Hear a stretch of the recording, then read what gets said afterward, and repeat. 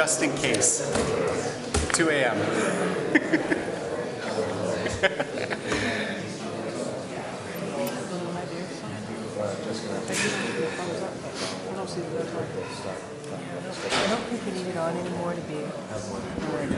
Good evening and and welcome to the Monday, September 10, 19, I'm sorry, 2018 meeting of the Cape Elizabeth Town Council. May we please pledge allegiance to the flag. I pledge allegiance to the flag of the United States of America and to the Republic which stands, one nation under God, indivisible, with liberty and justice for all.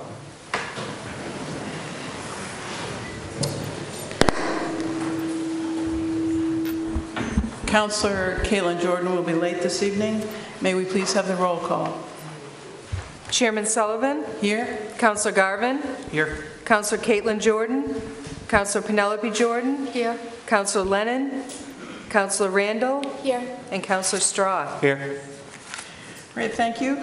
Um, And now, town council reports and any correspondence. Do we have any reports or correspondence? Council Straw? Uh, So, uh, as you know, I'm the liaison to the MMA, the Maine Municipal Association's uh, LPC Legislative Policy uh, Committee.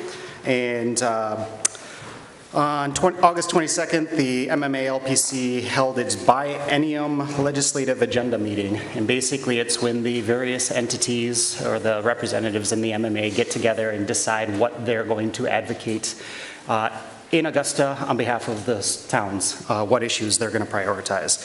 So there was a list of maybe 10, 20 different items that came up. Um, And uh, I advocated basically for the various issues that have been facing the town and the things that we've expressed as being our priorities, um, such as the school funding formula, um, so on and so forth. Uh, one of the issues that ended up coming out at that meeting, which I was oblivious to, but the rest of you may be very well aware of, is that there's something called uh, local revenue sharing. So basically, uh, when the state takes in income tax and sales tax, I believe, revenue at the state level, they redistribute it to the towns. Um, So one of the major items, if not the major item that seemed like there was unanimous consensus for that they really want to focus on is trying to, so, uh, sorry, take a step back. So a few years ago, Augusta slashed this, the local revenue sharing. So we were supposed to be getting 5%. They cut it back to 2%. And when they did that, they said, we're going to cut it back to 2%, but we'll restore it all in 2020. Um, So when they cut that back, that over the last five years has taken $2.8 million from Cape Elizabeth. So we're arguing about school budget and it's a little bit, little, various other things involving money, but we lost $2.8 million. And this was eye-opening to me. I had no idea this was going on. So anyway, the number one thing that the MMA group really wanted to push forward is trying to ensure that in 2020, when the revenue sharing is supposed to switch back to 5%, and using last year's numbers, we'd see an immediate increase in $570,000 coming from Augusta. There's great concern that when 2020 hits, the legislature is going to say, hmm, yeah, we kind of like keeping this money, and they're not going to allow it to go back up to 5%. So that was the number one item that they were going to tackle, and that's the number one thing they're focused on. So that's the report. I can tell you about the other items that came up if anyone's curious. Great, thank you. Any questions for Chris? Anything else? Councilor Garvin? Um, I just wanted to uh, make folks aware of an event coming up uh, at Eco Maine uh, on Saturday, uh, September 29th. We're a member-owner community of Eco Maine, and you've heard both myself and Matt speaking recently about, um, you know, the town's efforts to do a better job of um, educating everybody about uh, recycling contamination and some of the associated issues over at Eco Maine as a result of that.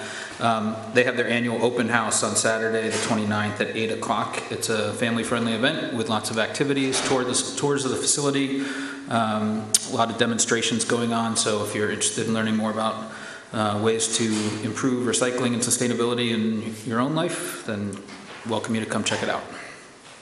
Great, thank you. And Councilor Penny Jordan?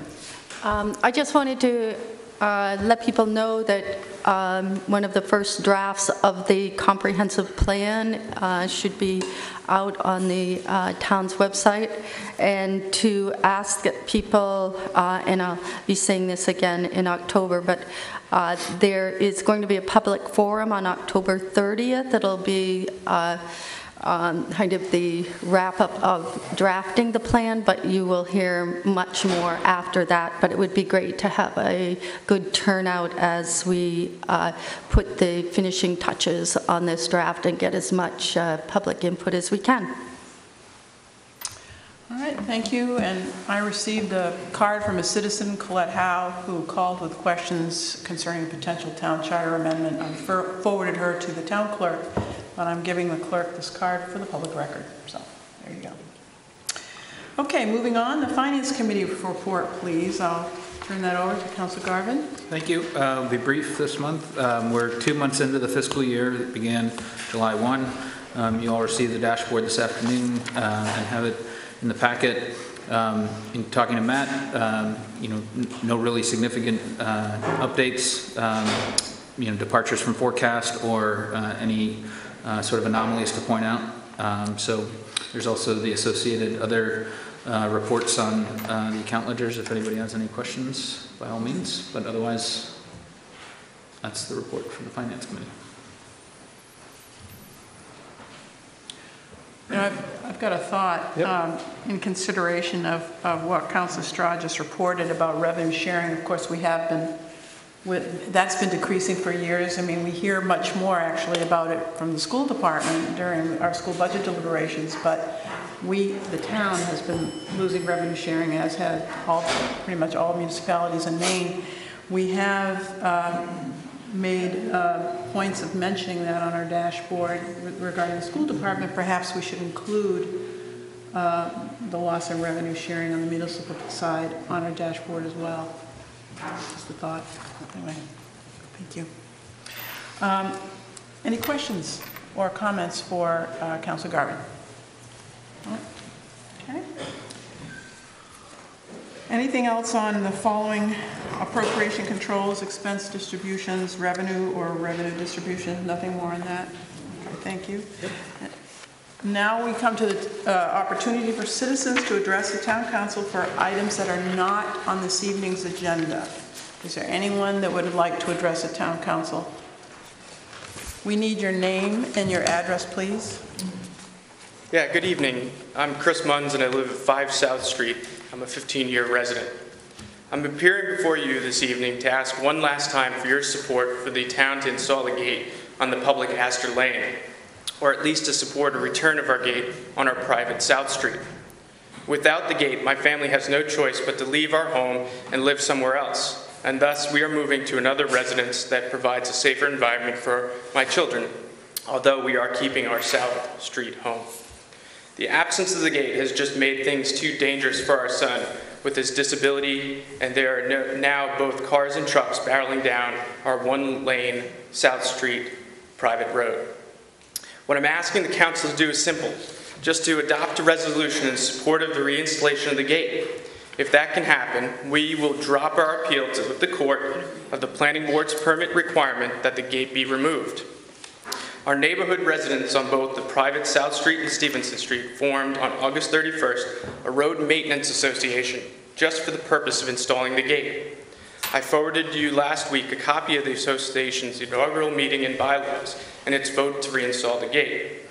The association is properly formed and voted upon according to the state statute on private road associations.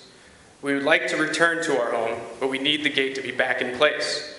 Please instruct your attorney to contact our attorney to settle our appeal, which we will do with the town council support of the road association and its vote to install the gate. Thank you for your consideration. Thank you.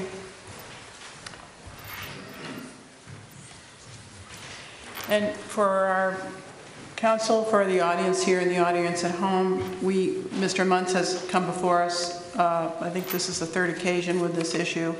Um, As we have said in our public comment session and also have, I've written to Mr. Muntz, we are, uh, he is legally appealing a decision of the planning board. This is an active litigation.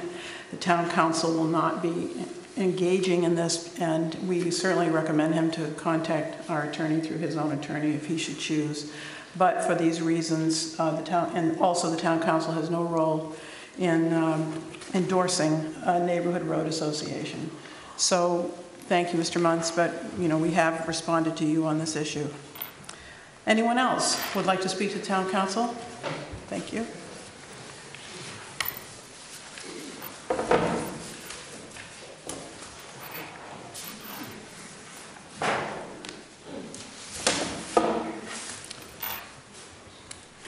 We need your name and address, and, and you have three minutes. Thank you. My name is Dan Glover. I uh, live in Westbrook, 90 Stroudwater Street, and I am a member of the Greater Portland Archangel Committee. Back in 1988, November of 88, Mayor Phil Spiller of Westbrook went to Archangel, Russia, and signed an agreement to make the Greater Portland region pair with the city of Archangel, Russia as a sister city. Your chairman, Frank P. Latore, on behalf of Cape Elizabeth and other representatives of the region, countersigned the agreement in April of 18 1989 the state of, in the state of Mandarin in Portland. We thank the Cape for its support and for, its, for the relationship and involvement in various exchanges over the years. And we have had many successful exchanges involving many parts of our communities, including high school exchanges, uh, the State Department of Transportation, University of Southern Maine, judges and lawyers, and most recently, local fire departments and state forestry agencies. Even though 88 seemed a difficult time for such a relationship to be established, it was the will of the Greater Portland region to make the effort to engage the Russian peoples. Today, it seems no less a difficult time as we celebrate 30 years of partnership. Tonight, we want to make the people of Cape Elizabeth aware, and we ask you to participate in what we are calling the Bridges of Friendship photograph- photogra- Photography Exchange. An exhibit will be held at the Stonewall Gallery in Yarmouth, Maine, simultaneous to an exhibition to be held in Archangel, Russia during the same time frame. The patronage request reads in part uh, as follows. In November, th- this November is the 30th anniversary of the sister city relationship between Greater Portland, Maine and Archangel, Russia. There's a wonderful opportunity for the 14 communities in the Greater Portland area to support a photographic cultural exchange between the Portland Camera Club of Maine and the Spilaki Camera Club of Archangel, Russia. We are seeking $150 from each municipality to help bring 30 pair, that's 60 photographs of images from both countries to be recognized by the Bridges of Friendship Photography ex- Exhibition. This exhibit will provide a unique opportunity for the residents of Greater Portland to see a jury show of outstanding photographs from each country side by side, and we hope you will find this exhibit valuable to your community and worthy of your support. Uh, Updates on the exchange can be found on the Camera Club, Camera, Portland Camera Club website at portlandcameraclub.org, and we will work through your chairman, Jessica Sullivan, to find out who we might communicate with further regarding this question. Thank you. Thank you very much. I'm sorry, these are two of the photographs. This one is called Bridge Over Bridge, so we're using that one to sort of headline the exchange.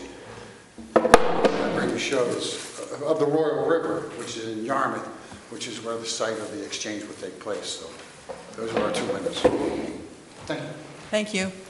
Is there anyone else that would like to speak to the town council on items that are not on this evening's agenda? Okay, moving forward, could we please have the town manager's monthly report? Thank you, Madam Chairman. In preparing for tonight's manager's report, I plan on being mindful of the items that are on this evening's agenda and the great amount of public interest for tonight's items. With that being said, I have a significant announcement to make regarding town staffing. After almost 40 years with the Cape Elizabeth Police Department and 18 years as our chief, Neil Williams will be retiring as Chief of Police effective December 31st, 2018. I'd like to take the opportunity to be the first to thank Chief Williams for his dedication to the town of Cape Elizabeth and its citizens, and wish him only the best in his next phase of life. If you're in the Oakhurst section of town, you will notice that Oakhurst Road will be closed between the Portland Water District pumping station and Rockwall Lane between 7:30 a.m. and 6:30 p.m. today through Wednesday. The closure will allow a segment of the sanitary sewer line to be replaced. At the August council meeting, the council placed the regional collaboration question on the November ballot. The background information had initially identified the school department would receive an estimated $72,700 in funding, but since that initial estimate, the Commissioner of Education has taken a revised interpretation of the subsidy and has applied an additional formula against the allocated funds, resulting in the school expecting to receive $22,100 instead. Superintendent Wolfrom provided this update to me so I could share this with the council, and I provided you a letter this evening from the superintendent explaining this change. Discussions are ongoing with the Historical Society on the reuse of the Spurwink School, as I've had three meetings with Jim Rowe, and we have recently reviewed the facility. Last Friday, I went through the building with local architect Joseph Shalat, who will be providing me with additional information as we explore renovation options with the building. Finally, I have some personnel announcements of a positive kind at Community Services to report. I'm happy to inform the council that Carrie Curtis has joined our staff as Fort Williams Park Coordinator. Jane Anderson is on board as our new Senior Program Coordinator, and Peter Mullen as our new Youth Program Coordinator. And we are very happy to report that we're welcoming Kathy Maxwell as our new Deputy Clerk. Respectfully submitted, Town Manager Matthew Sturgis. Thank you, Madam Chair. Great, thank you, Matt. Um, Are there any questions or comments for Matt, monthly report? Great, thank you. Council Straw? I just wanted to thank the chief for all of his service to the town. I'm greatly appreciative of it. Thank you.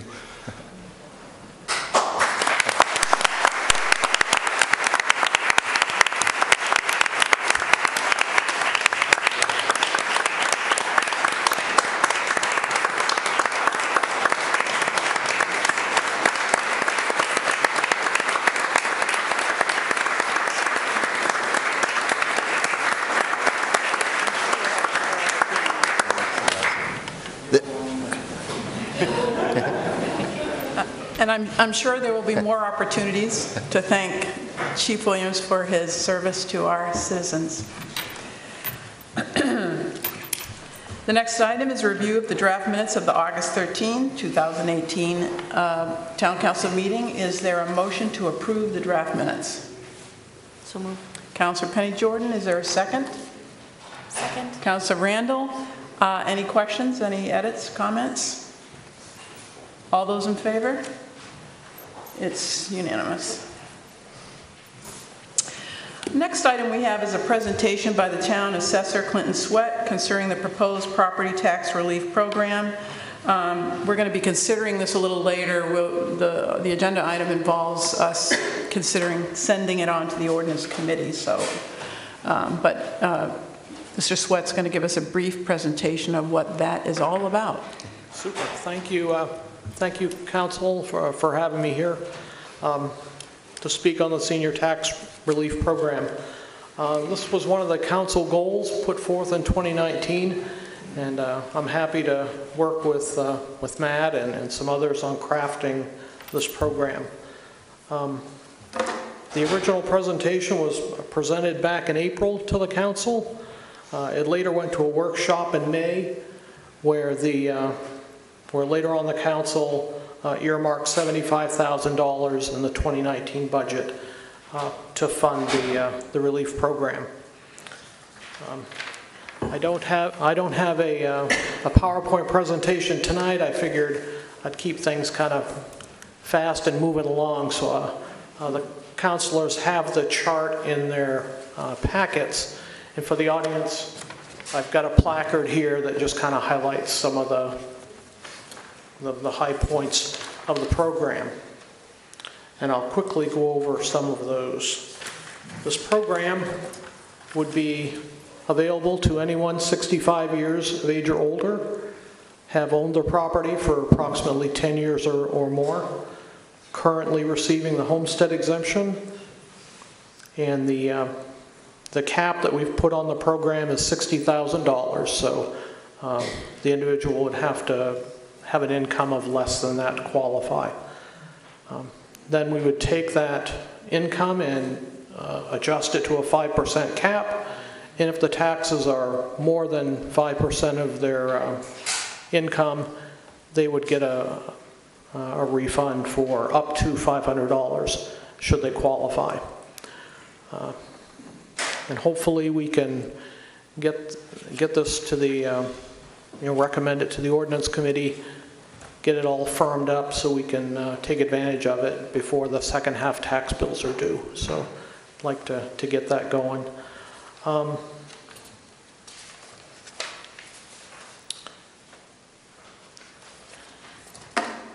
And basically, that's it. Um, I, I, I am flat, I am flattered by the big turnout. I'm sure it's nice to see that you all come to support the senior tax reduction program. But in all, but in all seriousness, while I do have everyone here, if you know of a, of a senior who's your neighbor, a relative, somebody you, you know who might be qualified, uh, even though the program is not set, have them call my office. I'll take their name, I'll take their number. When the program is rolled out, you know, we, we can get them on board. Um, I know we, we do a good job putting a lot of information on the website. Well, if you know my mom and dad, they're not very technically savvy, so you got to really push that information out any way you can. So if you know anybody, uh, just have them give me a call. I'll take their name and number, and when the, the ducks are all in a row, I'll, I'll give them a call and get them enrolled. Uh, and that's about all I have. Uh, I want to, uh, you know, I look forward to working with the ordinance committee and the town council to get this enacted. And uh, if there are any questions, I'll be more than happy to, to answer them. Okay, Thank you. Uh, The councilors have any questions at the moment? No. Thank you very much. Great, thank you. Before I open the public hearing on our next item, I suspect we have a recusal. Oh, do we? Coming? Oh, yes. I got to pay attention. Uh, Yes. This, this, uh, we're about to open a public hearing on a new liquor license application and special amusement permit at the well at Jordan's Farm. Yes, I need to recruit, recuse myself. Thank you. That seems most appropriate, so I don't think we need discussion. All right, so I will now open the public hearing on the new liquor license application and special amusement permit for the well at Jordan's Farm. Anyone wishing to speak has three minutes. Public hearing is open. Does anyone wish to speak to this application?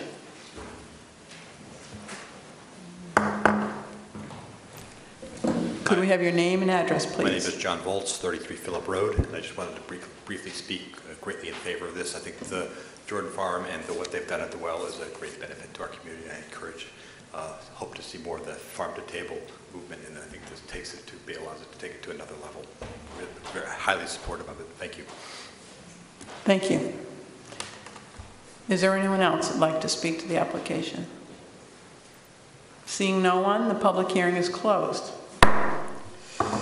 Item number 123, the well at Jordan's Farm, liquor license and special amusement permit.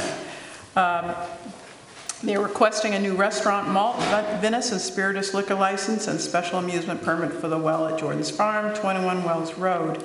Uh, I would like to uh, ask the town clerk to tell us about this application.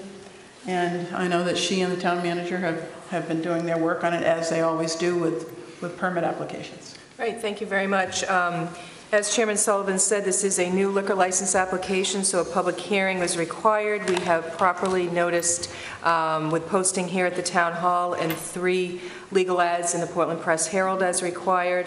Uh, A special amusement uh, permit is required if an establishment with liquor is having, uh, has, uh, going to have dancing and music, uh, things of that nature, so that's why the special amusement permit is accompanying the liquor license, and that would run the year uh, with the liquor license, it would coincide with that uh, permit. We have checked with uh, police, fire, and code enforcement, uh, and all their questions have been answered, Um, so at this time, there are no uh, issues or concerns that have been raised.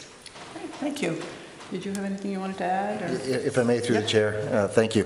I I met with Mr. Williams last, at the end of last week, and uh, he had a, he had an out-of-the-country catering event, so he was unable to come this evening, except he did describe what his, what his plans uh, are. Uh, The primary thought behind this is to request the liquor license to have control over the cons- consumption of alcohol at the restaurant. Right now, it's currently operating as a bring-your-own type of operation, and uh, he'd like to have better control over that and higher level of responsibility, as well as uh, the opportunity to ex- expand what they may be able to offer, and uh, if he feels it's the next logical step in the progress. And uh, as Deborah had said, there are, there have been no issues that have been associated with it, so he's, but he's trying to be in advance of any potential issues that could happen in the future. So uh, definitely in support of, of his request, and uh, he seems to have met all the requirements we need. Great, thank you. Uh, Are there any comments or questions for either uh, Matt or the town clerk, uh, Councilor Caitlin Jordan? I just have to disclose I'm obviously friends, close friends with Jordan's Farm, and we do occasional business with the well, selling them items for their farm to table. So you're disclosing that information, but you don't feel you need to accuse yourself? No. Okay. Any, any other concerns with that? Oh, Great. Could I have a motion to uh, approve the malt Vinous Lights, Vinous and Spirituous liquor license and special amusement permit for the, for the Well LLC and Perens Jason Williams at the Well at Jordan Farm, 21 Wells Road, as presented? So moved. Is there a second? Councilor Garvin, is there any more discussion? Although, uh, Councilor Quick Garvin? question, the description of special amusement, is- you mentioned the service, but is is there plan for change in types of events held there and things like that? Not in particular, but in, in in case you, if you have a person that comes and maybe plays guitar uh, for the patrons, uh, that's also, that's under the, the special amusement area, so uh, I don't think he's planning any large-scale production, but if they do want to have any type of live music that is there to complement the dining experience, I think Okay. that's really what they're looking to capture. Thanks. Great, and the town clerk has something she'd like to add. To answer Councilor Garvin as well, I believe at the end of this month, uh, there is going to be a planned event with music. Um, So that's uh, another reason I think um, that this is coming before tonight as well. Okay. Thank you. Any, any more discussion? All those in favor? It's approved, it's unanimous. Great, thank you. We welcome back Council Penny Jordan.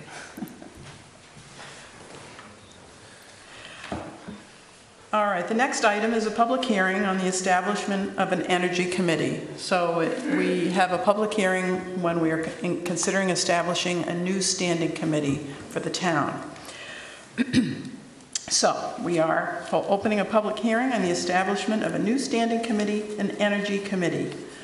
Public hearing is now open. Would anyone like to address the town council on the establishment of a new energy committee for the town? Seeing no one, I'll close the public hearing. Item number 124, the establishment of an en- energy committee. Um, we voted to consider sending this to the ordinance committee in July. The ordinance committee voted unanimously to recommend the establishment of an, or, of an energy committee. This was a town goal, town council goal a few years ago, and we had an, an ad hoc committee uh, in 2016, and we are finally putting all those pieces together to get this going. And I would like to offer uh, Councilor Penny Jordan um, an opportunity to make comments about this as you were leading the ordinance committee. Yeah, uh, well, I do have a question first, because we, it seems nobody spoke at the public hearing. Can we put it forward for a vote tonight, or do we need to wait? I think we're, yeah, I don't, I We think can. we're ready to vote. We've- Okay. We've been looking at this quite a few times and for quite a while, so I, I don't see any problem with that. I mean, normally, we like to wait, but in this instance, I think we're all highly versed on this matter. Good.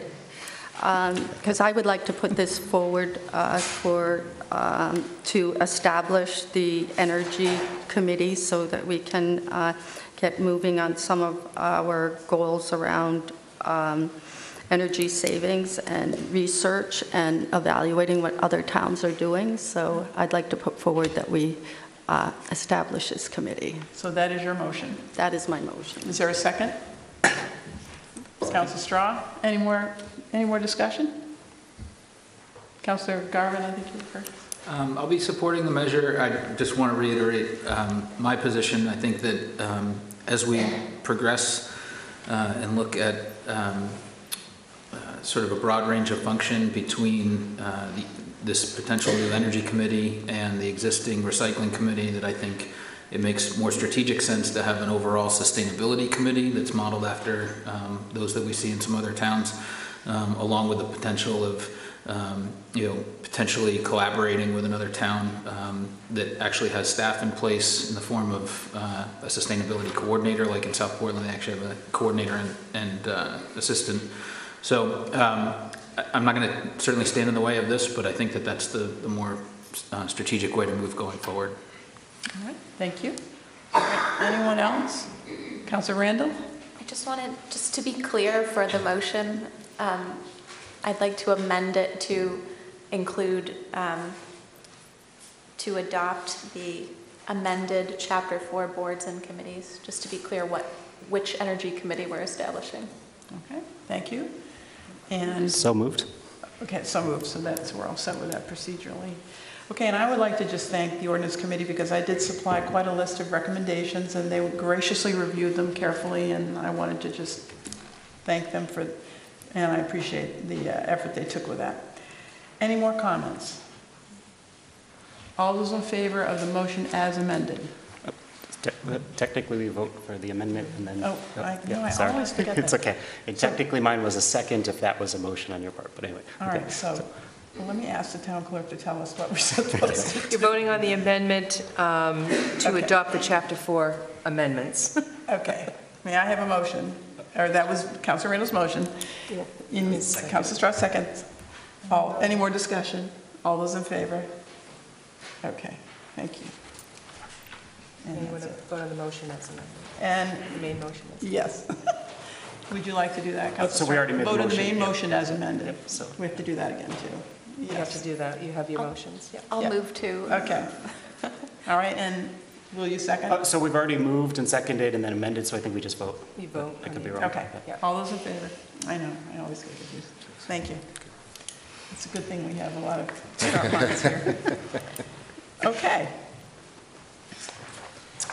Moving on, the next item is a public hearing on the per- view, on the uh, review of the proposed settlement agreement relating to paper streets, sections of Surfside Surfside Avenue. Before I open the public, public hearing, I'd like to remind the audience of uh, the town council rules of decorum for, for meetings, public meetings, including a public hearing. Everyone has, that would like to speak to us has three minutes. We will, we conduct the public hearing as long as there are people here wishing to address us.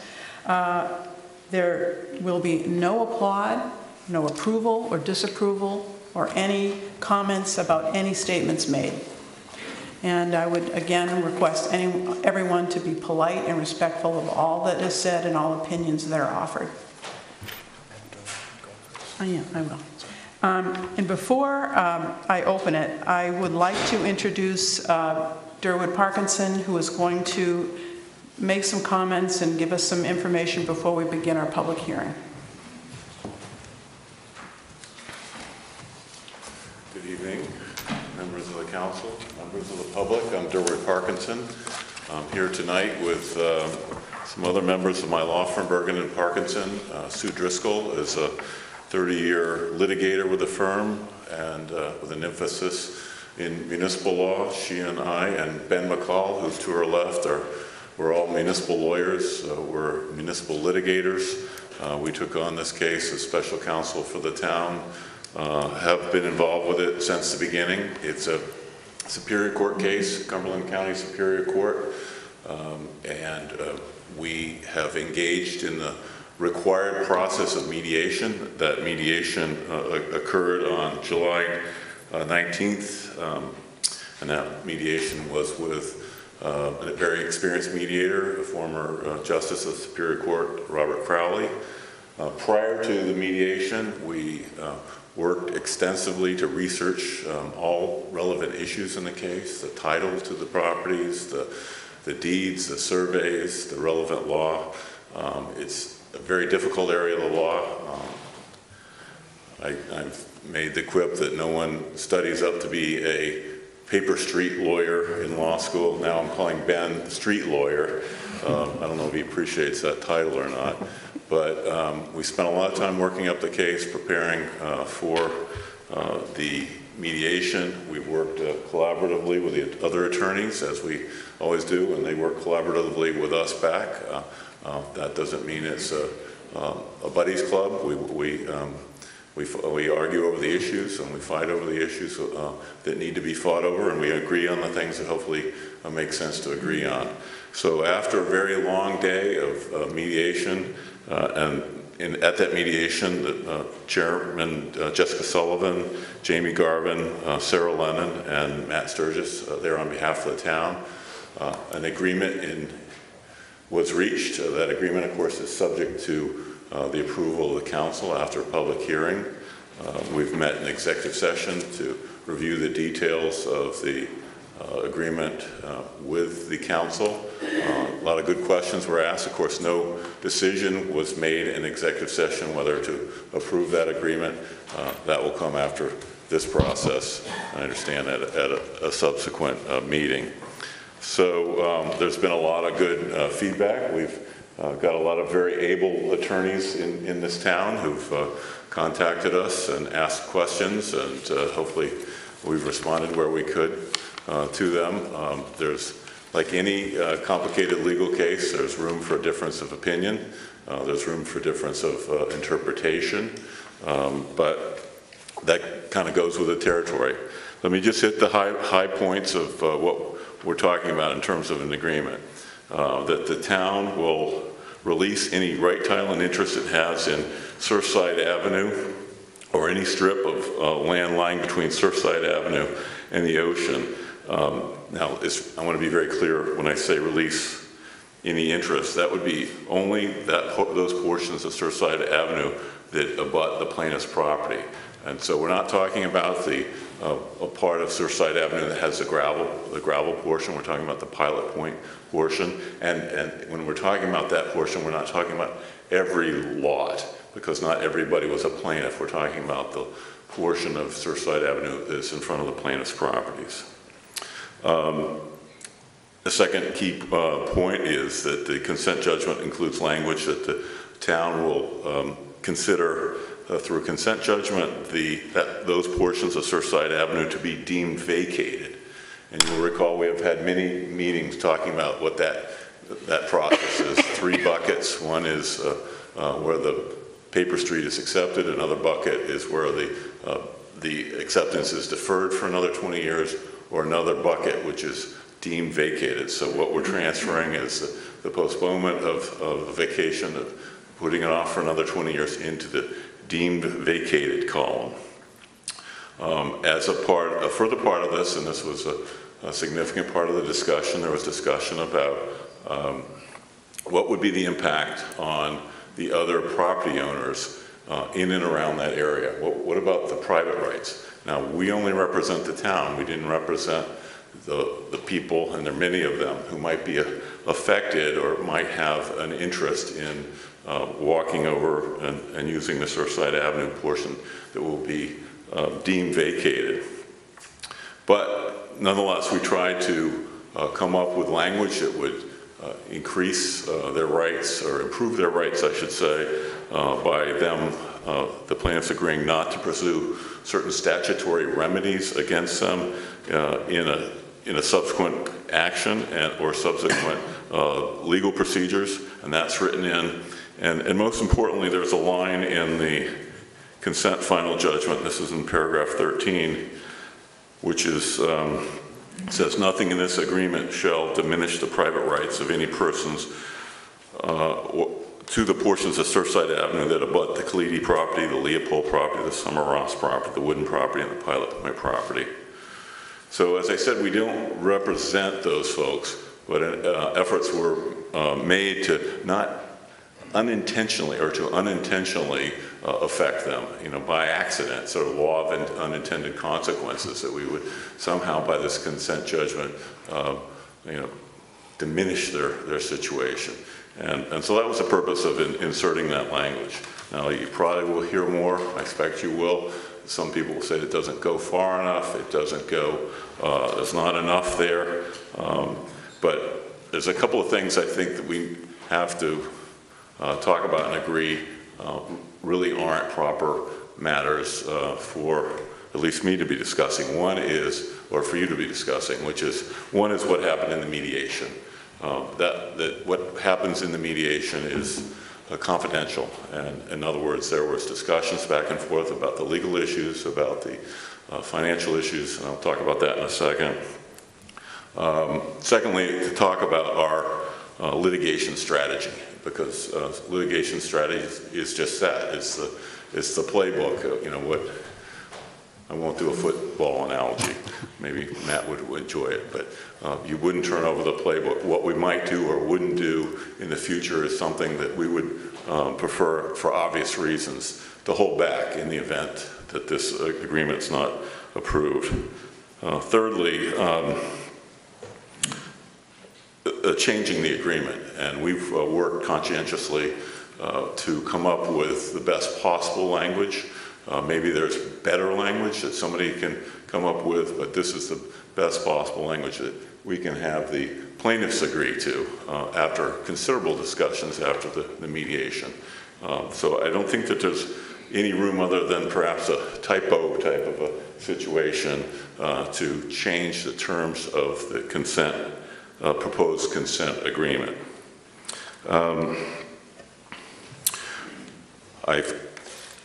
so the consent agreement, of course, also provides uh, for a payment of $500,000 uh, by the plaintiffs to the town, uh, which would be deposited in, into the land acquisition fund to enable the town to purchase and preserve additional public land in the future. So what happens is if the town is to approve this consent judgment, it will be approved, we believe, by the court. Uh, Normally, those are, um, the court will read them and we believe uh, sign the consent judgment. Uh, We also be waiving any rights of appeal, uh, and as with the other side, would be be the plaintiffs. And the terms of this agreement would be binding upon uh, not only the town in perpetuity, but the uh, heirs, successors, and assigns of of the plaintiffs. So the idea is a clean break, finality. Um, Some might say that it it doesn't accomplish that, uh, but we believe um, that we're in an imperfect world, but it does a lot to um, bring closure to this on terms that are um, extremely uh, favorable to the town in terms of the financial part and in terms of bringing closure to the issue of whether this is a paper, there's two issues here. One is, Surfside Avenue continue to be a paper street? And then if- if so, is it a paper street um, that can be used as a walking trail? And so um, those are the two issues. Uh, The plaintiff's first uh, argument, of course, is there is no longer a paper street because it's lapsed. Even though it's been postponed uh, legally in terms of acceptance, they believe under the common law of Maine, it- it's lapsed. Um, Then the second issue, that even if it hasn't lapsed, it is not appropriately used as a trail. And as I've said before, uh, that is a sort of new territory under Maine law. And so as a matter of sort of mitigating risk and rolling the dice on that question, um, the- at least um, at the time of the mediation, it was felt that that was uh, a a prudent way to resolve uh, tho- those risks through this settlement. Unless there's any questions? Thank you. Before you step down, do any councils have questions for Druid at this time? Can I Council Penny Jordan? Um, I'm asking a question based on a question that somebody submitted, and when you were explaining the, um, the, the question is, does a paper street need to be vacated as a whole? That can- is confusing to some people. It can be vacated in parts? Yeah, we believe that the, the paper street can be vacated in parts. Um, The, the, the problem was um, with entering, in a- we're dealing with a court case with the, brought by the plaintiffs who brought it. Um, and not all of the possible plaintiffs and all the possible owners. So we're dealing with a set of rights uh, that, uh, in the paper street in front of them, and yes, we believe it could be in part. We we see no reason why it can't be.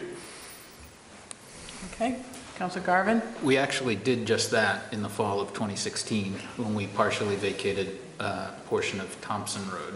Okay, so off of there's an Shore Road. example So of that. there was a, a length up to a certain point that we extended, and then everything beyond that point was, was deemed vacated as part of that process. And I, there might have been one or two others from the list of 50 or so that we dealt with, but I remember that one in particular, so. Perfect, thank you. Yep, Councilor Straw? So uh, Councilor Garvin's point's great, that's uh, in effect what I was looking for. Uh, In addition to the factual instance in Cape, are you aware of any court cases where a court has ever said you can vacate in part as opposed to in its entirety? No. So potentially, we expose ourselves to that argument.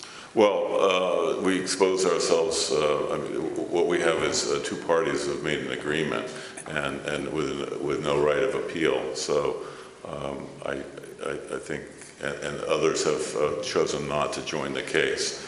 So it makes it more remote that that could be challenged. Uh, But just to be clear, the other parties who have, no- or the other landowners who have chosen not to be part of the case, if we vacate in part, we expose ourselves to the argument that you have vacated in whole, and we're unaware of any case law supporting our position? Yes, that's that's Right. correct. Thank you. Okay, thank you. Um, and Thank you. Go ahead start. So I will uh, open the public hearing, and again, I want to remind everyone of the town council rules of decorum. You have three minutes. Your name and address, please. George Foley, 9 Pilot Point Road, one lot away from this street. Pardon me, I, eyes are getting older. Um, I sent a letter into the town council, which you're aware of. I asked that it be read. I am unaware if it has been or not, so I will read it here. Dear councilors, this paper street was always intended to belong to everyone in town. The developer specifically placed this street between the properties in this development and the ocean with the express intent to prevent abutting property owners from stopping anyone from enjoying the beauty of two lights, the ocean, and recreation in this area. Fishing is available off the rocks as well. All of the original residents also supported access to this valuable and beautiful public space. They recognize just how special every bit of coastline is and just how wonderful it is for all of the residents of Cape Elizabeth, not just five rich families that moved in from away and want to stop everyone else from enjoying this wonderful recreational area. Recreational areas spread throughout the town help reduce the overuse of each area and reduces traffic congestion, etc. Recreational areas, green spaces, and trails set Cape Elizabeth apart from many other towns and increase property values for everyone in the neighborhood, proven by looking at houses within 300, and- uh, within 3,500 feet of a trail system. When two of these five families forced the neighbors to go to court in the last couple of years, the court ruled that the town had not abandoned its right to accept the paper street. We have done all the heavy lifting for you. Now the council can do the right thing and preserve this valuable asset for all town residents by accepting Atlantic Place, Surfside Avenue, Paper Street permanently. We recognize the value of preserving all open space when we purchased Fort Williams years ago and prevented developers from turning it into a housing development. I'm so glad we were part of that decision to preserve Fort Williams as a park for all to enjoy. I sincerely hope this town council has the backbone and integrity to do what is right for all citizens of Cape Elizabeth and accept the entire length of Atlantic Place and Surfside Avenue, Paper Street. Stand up to the intimidation of the five families and listen to the 1,400 residents who signed the petition. Listen to the original developer who placed the street there on purpose. Listen to the 110 other families in Shore Acres who also support keeping this valuable resource for everyone to enjoy. Above all, remember the short-term, single-time payment of 500K will forever be remembered by our children and their descendants as very short-sighted for a property worth well over 2 million today, but priceless as a town asset when preserved forever for all to enjoy. Thank you. Thank you.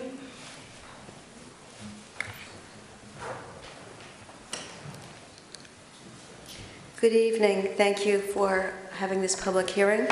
My name is Marianne Lynch. I live at 2 Old Colony Lane, and I really do want to thank you for your attention and the huge commitment that you all make as councilors. I know how much time it takes, and I deeply appreciate it.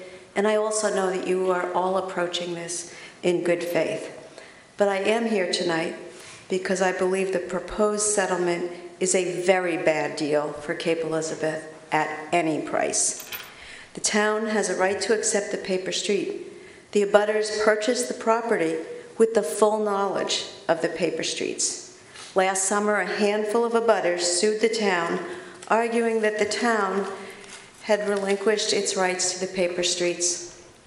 I would also tell you that the mediation process, which I'm very familiar with as a lawyer, is very flawed in this particular case, where one side is at the table with their lawyers, the other side, the town council, um, had at least one councilor who was already on record wanting to give away the property a year ago um, for um, no compensation at all. But most importantly, real estate is not fungible.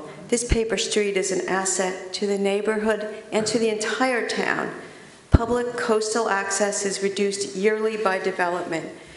You have a unique opportunity to preserve the incipient rights to the access. I urge the council to accept the paper street and defend the lawsuit, which will provide a final resolution to the property rights that have been in dispute. I want to be clear, I think that some principles are worth fighting for. And I know I've heard folks say that they're concerned about the cost of litigation. I will tell you as a taxpayer, some things are worth fighting for. And I will tell you as a former councilor, some things are worth fighting for. Um, I also think that accepting the settlement will create a very bad precedent and will encourage others to sue the town when the town is trying to act in the interests of all of the citizens. Cape Elizabeth is a desirable place to live for a number of reasons, not the least of which is our system of neighborhood trails, which, as the ear- earlier speakers pointed out, takes pressure off all of the other neighborhoods. Um, that system has been developed over 30 years and has relied, in some good extent, on paper streets. So uh, I, this is a, just such a bad deal for the town. Um, this settlement is not in the interest of anyone. It's not in the interest of anyone except the five abutters. And so I urge you to reject the settlement, accept the paper street, and vigorously defend this uh, litigation. And I also... Thank you. Your time is up. Okay, I also have with me a letter from former town councilor Ann Swift Kayatta. She could not attend tonight, but she wanted to be clear that she is also very opposed to this, and I will give you this letter. Thank you. Thank you.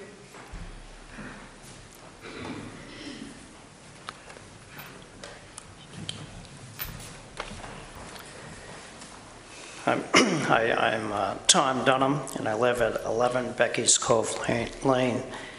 With my wife Sandy, we bought our first house in Cape Elizabeth in 1978. Thank you for the opportunity to speak before you regarding the Shore Acre Paper Street issue. I happened to attend the recent public forum regarding this contentious issue and decided on my own to investigate further as a taxpayer and as a person who has had a career in marketing industrial and commercial real estate in Maine for over 40 years. I I took the initiative to drive over to Shore Acres and gain permission to trespass over one of the residential lots affected by the mediation. I walked down deteriorated wooden steps to a very limited area where the owner had a vegetable garden.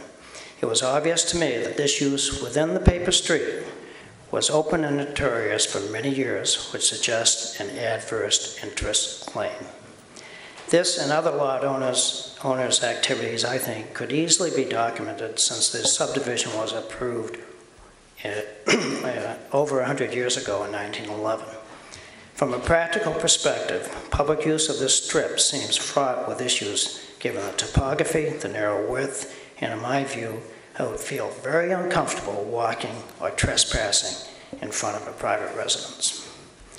As a result of my investigation, as a citizen and as, as a taxpayer, I fully support the mediation terms with one major exception. In my view, the $500,000 settlement is very generous, particularly coupled with the expected increase in the annual real estate taxes each lot owner will be confronted with. It is likely to be $34,000 on an annual basis over 10 years. That's $340,000 in additional resources to the town. I am opposed to the suggestion that the $500,000 be applied to future open space projects. That is too subjective and political. What I would suggest is that the $500,000 be set aside in a trust to establish an endowment to support the maintenance and improvements to Fort Williams in perpetuity. Certainly, it would have a much broader appeal to the citizens of Cape Elizabeth and would establish an entity that citizens could contribute to. This would truly benefit the most Cape citizens. By establishing an endowment, it would likely generate future contributions and could easily grow to several million dollars. If the tax assessment increase is $34,000, it also would be earmarked to the endowment, and this settlement would be nearly a million dollars in 10 years. I am sure many Cape families would contribute, and, and my wife and I would as well. In summary, please approve the mediation terms before you. It is generous and is in the best interest of all Cape citizens. It does not pay to litigate in this case, and I think the lot owners have a very strong case due to adverse interest. The last, last. Your time question- is up, Mr. Last Dunham. question I have is, how much have we spent to date on this issue as a taxpayer? Thank you.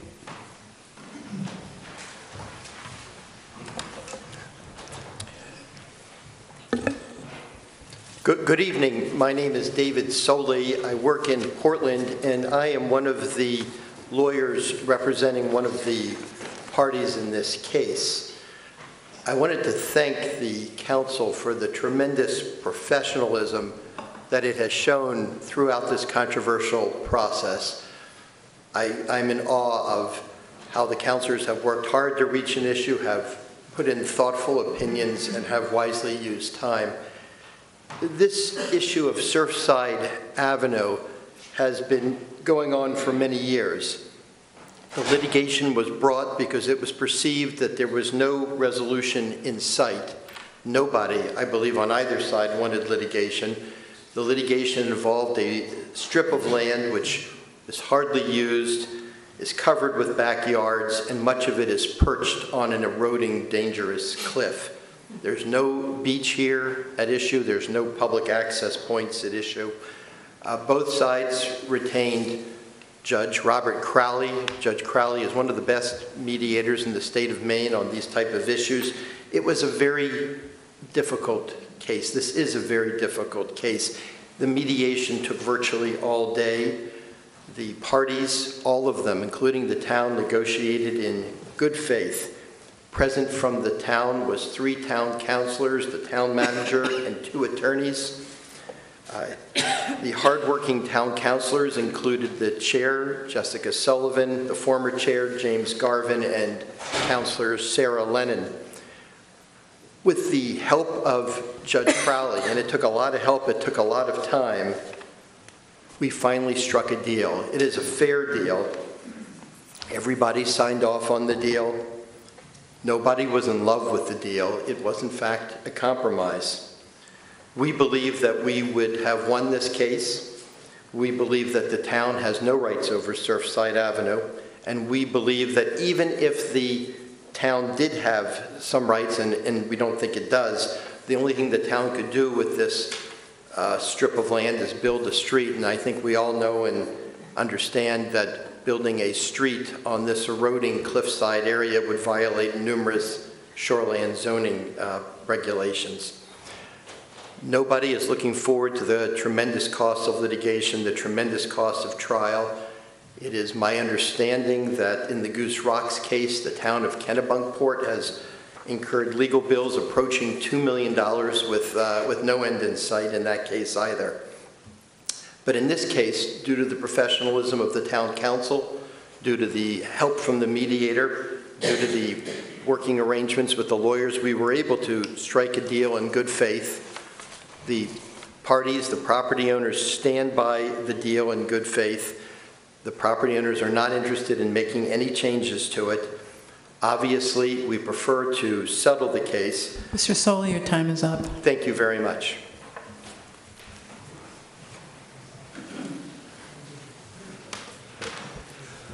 Richard Lemire, 10 Waven Road. I have lived in Shore Acres since 1985 and have followed this controversy closely over the past five years or so. I shake my head thinking of how much time and taxpayer money has been expended by the town and the council, as well as by the abutters, for 800 feet of the undeveloped portion of the paper street known as Surfside Avenue. I know, as well as some of the councilors who have been involved from the inception, how this all got started and how it has escalated to the point of a lawsuit all over a paper street that has been in place since the original site plan of 1912. Rest assured, there's no consensus within the neighborhood on the path forward, including many non-abutters to Surfside Avenue. There's only one path to ending this controversy over 800 feet of the paper street being addressed in the lawsuit, and that is for the town to vacate the undeveloped portion of the street. If it is accepted or extended, the lawsuit will proceed at great cost to all parties involved.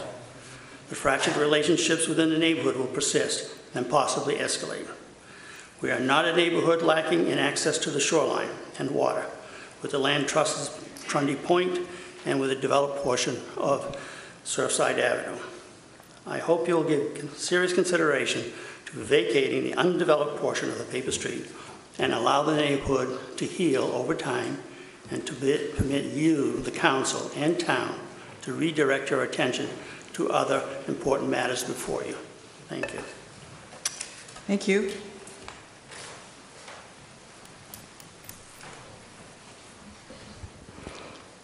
My name is Heather Bounds. I live at 11 Wildwood Drive. My husband John and I have lived in Cape Elizabeth for 42 years.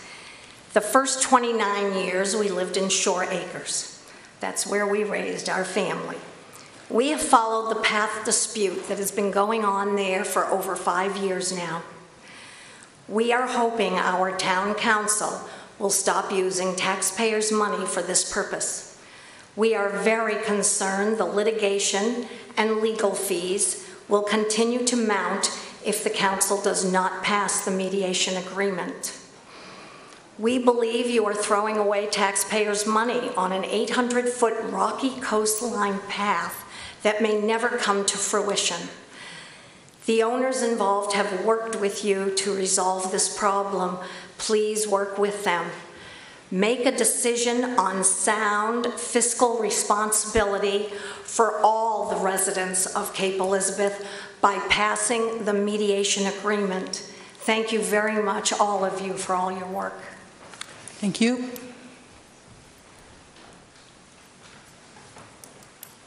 I think you all know me. My name is Paul Mosen. I live at 22 Trundy Road in Cape Elizabeth, Maine. And thank God I didn't become a lawyer. you know, I ended up on the faculty at Yale for 10 years, but I'm listening to lawyers and they have the crystal ball. They're a little bit different in terms of what they're saying is going to happen. If you accept the agreement, we're not going to have any problems. Everything's going to be wonderful. If you don't accept the agreement, you're going to be putting out all kinds of taxpayer money and legal fees. Well, guess what? If you accept the agreement, you're going to end up with a lot of dealing with a lot of legal fees from the people that I'm talking to. Well, you remember, and I'm just being redundant, I understand, that we got over 1,400 signatures of people who said accept those paper streets. The ones we were talking about were Surfside Avenue, Atlantic Place, and Lighthouse Point. We don't seem to be heading closer in that direction of doing that. And it boggles my mind, but to the people that I talk with in this community, it's boggling their mind too. We started GoFundMe uh, site, and money's starting to pour in. Because if we have to sue, we will sue. You, are, you will not or should not give up or go along with the deal that's been offered. I don't know of anyone, and maybe it's not allowed, from the SOS Coalition that was invited to sit down and discuss this. Oh, I know you're representatives of the people, but at the same time, some of you already have predetermined ideas as to what you're going to vote on and what you're going to support. Rather than get out there and talk to the thousands of people in this community that do not want to see those paper streets go away. They want to see them accepted by the town. And you need to think about all of that. That's all I'm going to say. Thank you for your time. Thank you. Hi, John Volz, 33 Phillip Road. Um, as I think it's evident to everyone that there's a great deal of interest in this. Uh, I look at uh, topic, and I look at the agenda item, it's to sort of review the settlement agreement. And I went and I read through it and I looked at it and I thought to myself, you know, I don't think I can do that. And I'm going to pause here for a minute and sort of take a diversion and talk about uh, a story about Lincoln my father told me. It's about a game called horse trading. And what they would do was you just agree with your friend that uh, you'd meet on Friday afternoon by the bridge and you'd bring your horse and he'd bring his horse and whatever horses you had, you'd trade. And so the first time he, Lincoln played this, he went around and thought, I am not going to be beat by this. And he found the sorriest, nearly dead, sway back one step from the glue factory horse that he could. He bought it for $5. And he went down there Friday afternoon. He was really excited. He says, I am so going to win. Until he saw coming down the path his friend with a wooden sawhorse slung over his shoulder that probably cost him a quarter. And the point of this story is you don't know if a deal is any good until you can see both sides of it. And we don't see both sides of the deal here. All we see is $500,000. We have no information as to the context that you're looking at. And this is not part of the negotiation. This is the facts that you should have and have presented to us to be able to evaluate this deal. We don't know what those lots are assessed at. We don't know what the market value of what you think those lots are assessed at. We don't know the portion of the square footage that's being vacated. We have no context in which to evaluate both sides of this deal. There's a whole bunch of other issues that come into it as well, but even just the basics of what to assess aren't there. I would request that you put forward and put this information in your deal in context so people can see both sides of the deal and make their own assessment. Notice it and have a hearing so people can comment intelligently about what this deal is and not just one side of it. We can't do that. I can't do that. I'll be able to make some comments in writing based upon what I've seen to date, but right now I can't make an assessment and I don't know how you could. If this is all the information that you're looking at, and if you're looking at more than that, notice us in public and let us evaluate it. The other thing, before I finish up, is the same thing is true on the process. This is a complex process. You talked before about, you know, sometime later there's going to be a vote. This process is, a, this is an important issue. The process itself should be visible. We would like, a summary chart, something that looks like that, that tells us this is how the decision-making process works, this is where it's going to go, so we can make our comments and assessments appropriate to the point in the process we're at. Because some of the things I hear now seem like they're too late. Some of the things I hear seem like, well, maybe they're not ready for to hear that yet. Mr. Volz, your time is up. Thank you very much. I look forward to hopefully hearing more information that I can discuss this deal appropriately.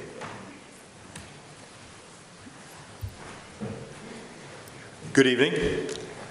My name's Mike Thorne. I live at 15 Highview Road. I want to thank my councilors.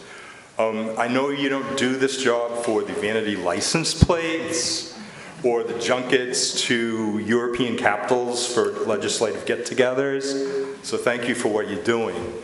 But I want to ask you a question, and it's the deathbed question. So when you're reviewing your life's work, including the difficult, sometimes tedious town of representing this town that you love, how you will feel about these 800 precious linear feet of oceanfront, which don't seem to be eroding really very much from my, from my observation.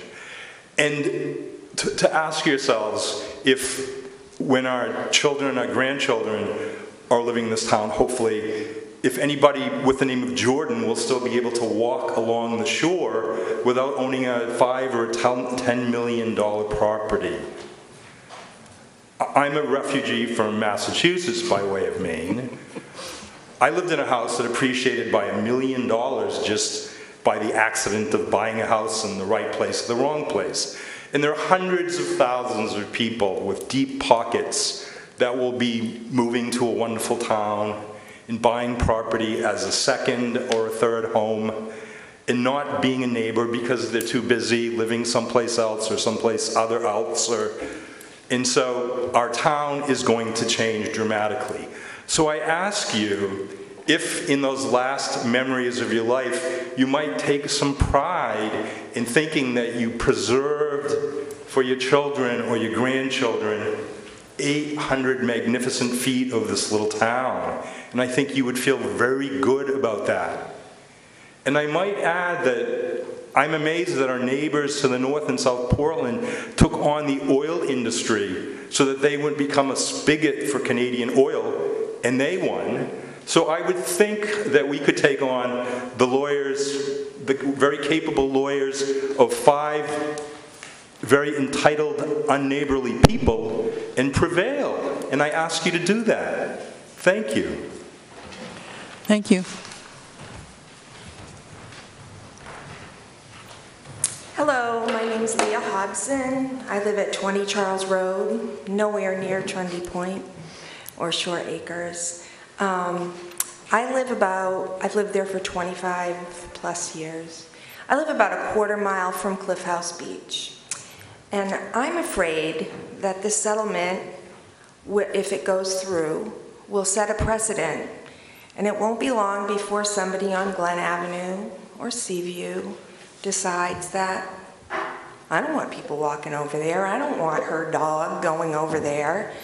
Um, that worries me. I also um, live about 12 feet from the sidewalk on my very humble little street. Cars go by every day, people walk their dogs, kids skateboard, kids even come into my yard to play ball, and that's okay because I'm part of the community. Um, in my real life, I'm a kindergarten teacher, not here in Cape Elizabeth, but on the other side of Portland in a not so fortunate community. One of the first things that I have done this year is try to build a classroom community of five and six year olds who have not learned all of this at home. They have not learned how to share. They have not learned that this is a wonderful community. They don't know anything about Cape Elizabeth. They'll be really lucky if we can afford to take a bus over to Fort Williams in the spring. But we've got a stretch of land here that I don't think is really eroded too much. I agree with people. It's worth a heck of a lot more, or actually, it's priceless. It's worth more than $500,000. You can buy a, you can't buy a piece of land on the water in Maine for $500,000. And I think that people need to take a step back and think about what it is to be a community and learn how to share. My last point is that um, one of the lawyers mentioned something about the $500,000 being put into a fund to buy other property where people could walk. Why would we do that? We have a piece of property where people can walk. Why would we do that? That just doesn't, it doesn't sit with me to just push it off, let somebody else do it, not in my front yard. Um, anyway, I, I hope that the, um, I hope the committee will consider that the property's priceless. We don't want to separate or set a precedent. And this is a community. We should be able to stay a community and do things together and share what we have in this town, even if it means somebody walking in front of your house or playing ball. Thank you. Thank you.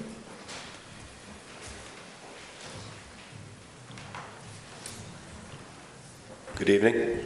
My name is Andrew Ingles. I live at 9 Wamback Road, which is uh, in Shore Acres at the foot of Pilot Point. I've watched this entire episode unfold right in front of me, and it's been terrible for the neighborhood. Say what they will, there aren't 110 families in Shore Acres that want to see this path, this turned into a path. Um, I certainly don't. They've, they've made the people who live there out to be rich, mean-spirited, and they're not. They're nice people. They bought their houses expecting it to be more or less what it is. What's not brought up here is, I, I wrote an uh, editorial letter that expressed this. There's a tremendous amount of open space in Shore Acres right now. I fish all along the rocks. You could go down to the rocks in front of where this lawn path would be, and it is a lawn path. It's not a, it's not a, there is a cliff, and it's not good fishing. If you go down a little further, right along Surfside Road, there's plenty of fishing. I fished there all summer. I caught two stripers on Saturday. There's plenty of open space. We've got the entire beach. We've got all of Trundy Point. There are ample, ample opportunities in our neighborhood to enjoy the ocean. This path in front of this house is rude. It's just rude. You're walking right in front of people's houses.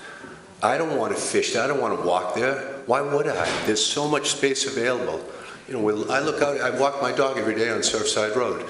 There are nice people down there. I look out at, I look out at, uh, you know, Halfway Rock. It's gorgeous. Everybody has that access. Anyone, anybody want to find it, come see me. I'll show you where you can walk all over the place without being rude. They are nice people. I can't stand this idea that they're villains. They're not. I know them all. They're nice people. My daughter babysits for them. Um, the idea of spending more money on this from the town is anathema to me. It's the worst possible use of funds. Kid, my kids in school, the schools are falling apart. Fighting against these people who are pay a tremendous amount of taxes now to put in a path that's rude and thoughtless and completely unnecessary is the wrong thing to do. I live right there. Don't, don't buy this argument that everybody in Shore Acres uh, wants a path there, because it's not true, believe me. Thanks. Thank you. Hello, my name is John Shumadine. I'm an attorney in Portland, and I represent the other four landowners in this deal. Uh, And I just wanted to come up here to finish the remarks that uh, Attorney Soley started with, and really just point on two things. Uh, Before I get to that, I just want to say, you know, it's a deal, it's a compromise. The sign of a good compromise is that no one's happy. I think that's probably a pretty good description of what's going on here. And with that said, there are two points that I do want to make to finish up with what Attorney Soley was saying. The first concerns the town. And yeah, I know because I'm on the other side, you're going to probably discount this, but I do think the town faces a pretty substantial risk here. But I'm not talking about risk about losing or winning. I'm talking about risk of what happens if you lose and if you lose in a certain way. We filed a motion for summary judgment. We filed that motion for summary judgment saying that if you're given a paper street, all that you're given is the right to build a complete road. You're not given a right to put in a path. Now, Councilor Lynch, former Councilor Lynch, came up here and talked about how much of your green belt is based upon paper streets. If we prevail on that issue, and we believe that we will, that's a substantial precedent and a very bad precedent for the town and for towns all, all throughout as far as what can happen with those paper streets. I would suggest that it, for the town, it's a better situation to, to not pick that fight right now and just continue on with what you have been doing because most of the other issues have not engendered this type of controversy. People don't care, then, then it's, it's fine. So that's the first thing. The second thing is, is that there's been a lot of discussion, particularly in some of the comments that have come to the council, about the private rights that are at issue here. This case is not about private rights. It's about the town's public rights. Uh, so when we were, went to mediation, we initially did not want to talk about private rights at all because we just didn't think it was part of this. Nonetheless, the town insisted, and based on that, we engaged in a long back and forth that I think went the whole day. I mean, it went almost the entire day in which we were talking about private rights. And we put in things into this agreement that protect the private rights. you know, which we did as an accommodation to try to meet the town halfway. If we could just write the settlement, we wouldn't have put that in because it's, it's really a separate thing. But we have, and we stand by it, and we stand by that. In addition, one thing, we- we're not interested in, you know, going back and renegotiating, but we have agreed uh, that uh, if the town approves this, we'll engage in a facilitated discussion with the neighborhood to try to get to some sort of closure on this, because it, as I think everyone would say, this has been bad. None of our, none of my clients are, have been particularly happy about any part of this. They've been vilified at, at times, and uh, really treated very horribly at times as well. And really, all they're trying to do is, is to just live their lives uh, based on what's, what's going on here, and they feel like they've been unfairly vilified, so they want to have a discussion with the neighbors, of course. They want this to become, to go back and become healing, and we think the way to do that is for the town to settle this issue as far as the town's concerned, and then let the private parties get together and figure things out, because we think they can. Thank you. Thank you.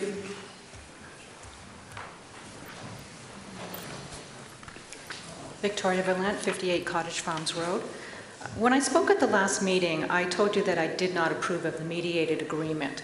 And it wasn't so much the sale price that was so wrong, it's that the town entered into mediation from a position of strength, but mediated as if the town was in a position of weakness. For example, the plaintiffs are claiming adverse possession or squatters' rights, and our position of strength is Maine law requires 20-year periods of uninterrupted occupation, payment of property taxes on the property. Uh, each plaintiff, they haven't lived on their property for 20 years. Also, the plaintiffs claim their property extends to the low water mark of the Atlantic Ocean. Our position is each plaintiff, plaintiff has a deed that specifies Surfside Avenue, not the Atlantic Ocean, as bounding the tract conveyed. The plaintiffs claim squatters' right by acknowledging they did construct numerous obstructions in the paper street. Once again, our position is the required 20-year period of obstruction. As noted, the plaintiffs have not occupied those homes for 20 years. The plaintiffs also claim the town took no action to accept or even acknowledge any portion of Surfside Avenue within a reasonable period of time.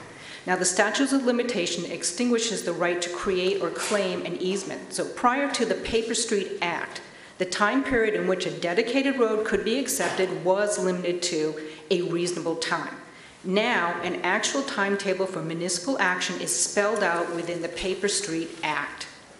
Subsequently, another position of strength is the town is following the Paper Street Act. On September 9th, in 1997, the town council voted to extend its rights in paper streets, and uh, once again it voted unanimously on October 5th, 2016. Our position of strength is in 2013, the Town Council adopted the Greenbelt Plan that acknowledged Surfside Avenue as a potential trail.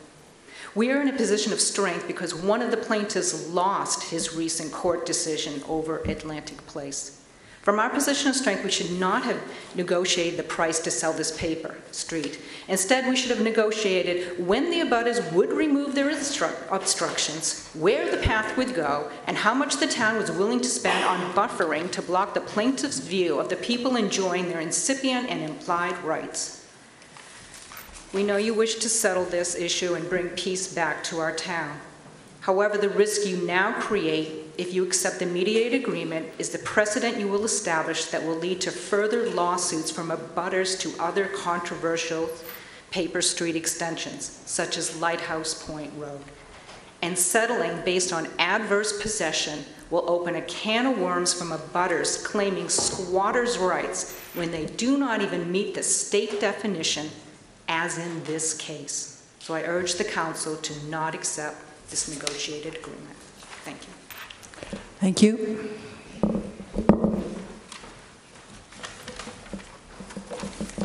My name is David Laurie. I live at 189 Spurwink Avenue in Cape Elizabeth. Uh, I've never been to this site, and I don't know that I'll ever go there, but I'm here to urge you not to take this deal because, or not to compromise, particularly not to compromise for money. Uh, I've, I'm a taxpayer, and I will pay my share of the town's legal expenses in this case if necessary. And I, I do view it as necessary. You've got a, you've got a good team of lawyers there. I've known both Durward and Susan for many, many years, and they're very good lawyers, and I think the town has a very strong case. I've heard a whole lot of people who are not, obviously not lawyers, talking about adverse possession, which cannot run against the sovereign, by the way, and you are the sovereign in this case. And it is a question of abandonment, uh, or was a question of abandonment, I should say. But I think that the court ultimately ought to decide this case based on the legislation and the town's actions since 1990, uh, since 1997 anyway. Uh, at that time, you actually voted uh, in reliance on the statute, which gave the town the right to make a decision as to whether to accept, to vacate, or, uh, uh, or extend the period of time for acceptance. You voted to accept it. You, your predecessors voted to accept it. And that was a binding legal decision which was never appealed. Uh, there's something called res judicata, or in this case, collateral estoppel. There's a technical legal term where a thing is decided and you can't come back and you can't litigate it if you don't appeal it. Moreover, not only did they not appeal it, they also didn't challenge the town's decision to extend it during the six-year statute of limitations. Or long, that, that was 2003. Uh, you know, in fact, they should not be in court right now. They should have been thrown out of court. I know the town hasn't made that motion yet, but it will at some point. But those, both of those theories, I think, I shouldn't call them theories, both of those legal doctrines uh, have a force and effective law. And I think the town has a very strong case here, and I don't think you should be giving it up on principle. I don't think you should be giving it up at all, and you certainly shouldn't be giving it up for money. In terms of what's going to cost you, this is not Moody. This is not uh, Moody Beach. This is not uh, Goose Rocks Beach. Uh, it's not going to cost you $2 million to litigate this case. I'd be surprised. I always underestimate. My clients are always upset with me when I tell them what it actually costs later on. But uh, I, would be really surprised if this didn't, if this ran much over $100,000 at most. Uh, but can I say, I can see my time is up. Yes, so I will your time is up. Thank you. Thank you. Hi, my name is Sandy Lunner, and I live at 33 Reef Road. I um, object to the town accepting this agreement because it's based on um, false information. And I want, I, I'm curious as to how you could enter into an agreement that contains a survey that's wrong. Um, it, the survey that um, the plaintiffs presented to you shows property lines to the ocean and every single recorded deed in um, in Shore Acres shows that their um, property lines do not go to the ocean. And so if a picture that is part of the materials is a lie, how can we really accept everything else in that? It makes me question everything, and it makes me question um, what you were thinking when you thought this was a good deal. And so I hope that you don't accept things as they stand now. Um, I would like to see you accept the paper street, and I think that things could go back to normal in the neighborhood with that being done. I live in the neighborhood when I first moved there. It was wonderful. Everybody loved everybody. We all celebrated Christmas together and sang Christmas carols uh, in a horse drawn carriage going around the neighborhood. Let's get back to that, but not based on false information. Thank you. Thank you. Good evening. I'm Daryl Hemian. I live at 8 Avon Road, which is in the neighborhood in question. I walk my dog every day down Surfside Avenue, and I am not a lawyer, um, nor did I actually intend to speak this evening, but I would, I would encourage the town to accept the settlement agreement just to give some peace back to the, the neighborhood. Actually, it being over, I think is more important than a lot of the other points that were brought up today. And, and two other points I'd like to make this evening where is I'm an avid user of the trail system in town and an environmentalist. And so I've waffled even personally on this issue all throughout the debate. I've lived in the neighborhood for about four and a half, five years. And I think I'd like to point back to one of my, my neighbors pointed out that, you know, that area of the path in question isn't so much a path, it is people's backyard. And when I think about that, why this has become so contentious is because it's people's homes. And I think the people that live there, I know one family really well, and I've decided instead of like following my environmental instincts, is to side with my friends. Because that's what this is about. It's about people's lives, right? There there are neighbors in our town, other friends of mine, that have moved away from this area in question because of all of this. You have uprooted friends and families. Now, that has to, that level of decorum, and we can all disagree all day long here, and I hope that we get up tomorrow morning and I see you and we all shake hands because we can disagree. But I would hope that it all comes back to the fact that the people that live there are just people like you and me, regardless of where they're from or how much money they make. It's about trying to achieve a level of decorum around what's rational for me.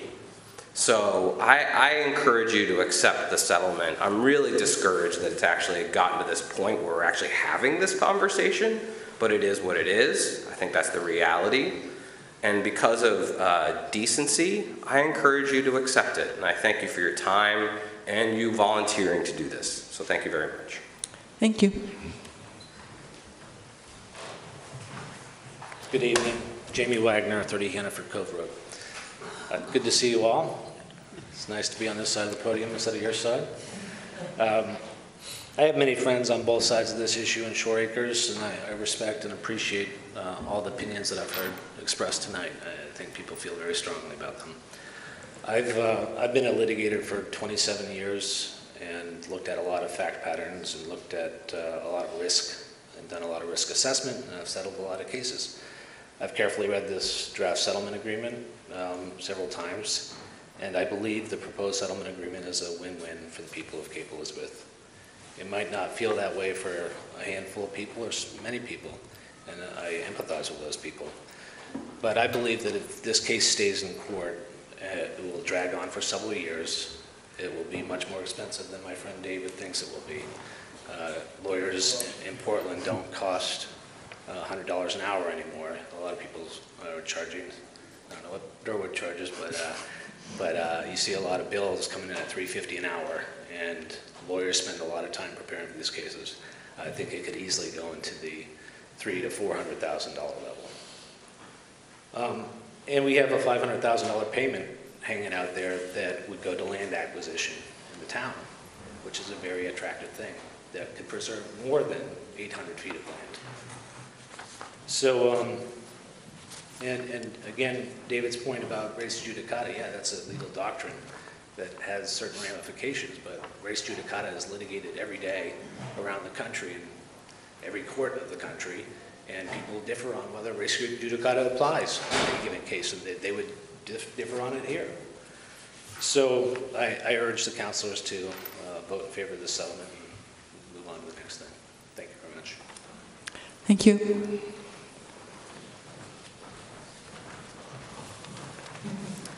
Anita Pettit, 8 Katahdin Road.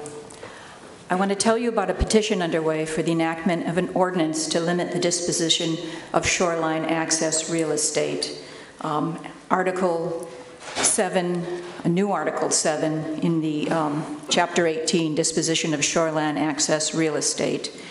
Any sale, release, or other disposition, disposition by the town of real estate whether held in fee via easement as incipient rights of dedication or otherwise, providing direct or indirect access to shoreline areas and whose retention by the town has been recommended by the Conservation Committee, Fort Williams Committee, Comprehensive Plan Committee, Planning Board, and other duly authorized committee appointed by the town council, shall not be sold, released, or otherwise disposed of inconsistent with the recommendation of such committee or board, except by a vote of at least five town council members, or following submission to a public referendum which approves such disposition.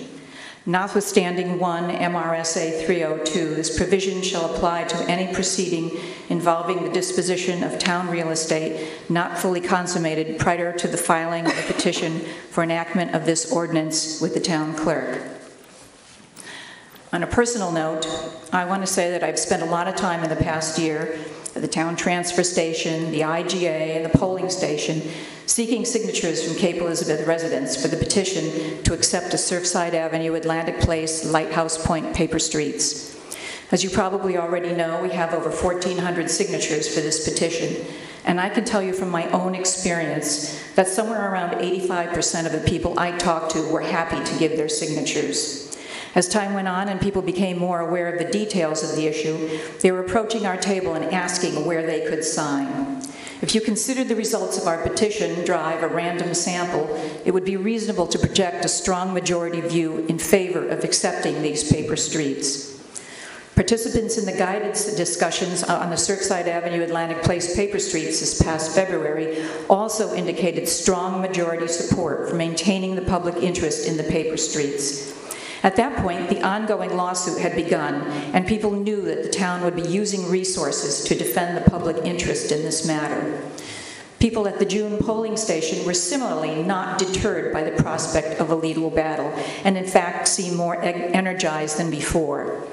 It should be obvious to you by now that the overwhelming majority of Cape residents are not interested in an expedient solution to the issue that would forever remove the potential for this shoreline access. If you decide to vote in favor of the proposed mediation settlement, either you will have badly misread the mood of the town or will you have chosen to ignore it. As Councilor Sullivan said in the last town council meeting, some things are worth fighting for. This is one of them. Thank you. Thank you.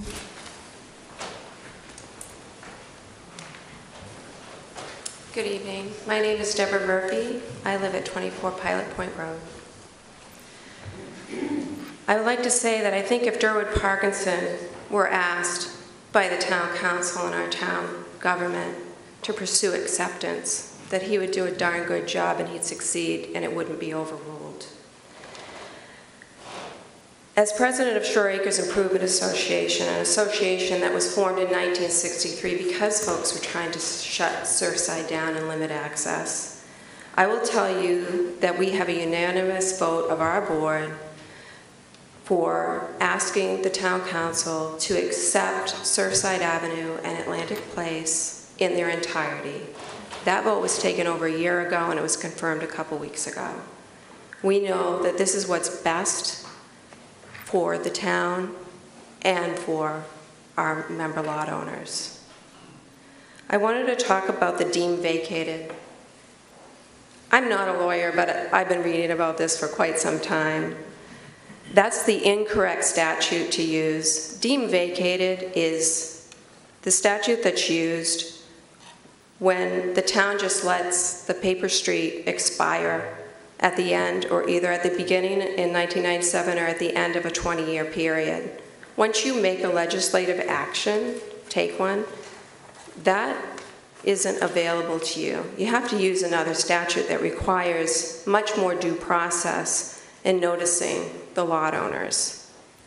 The town council affirmatively acted to extend their right of acceptance and filed this extension action in the Maine Registry of Deeds.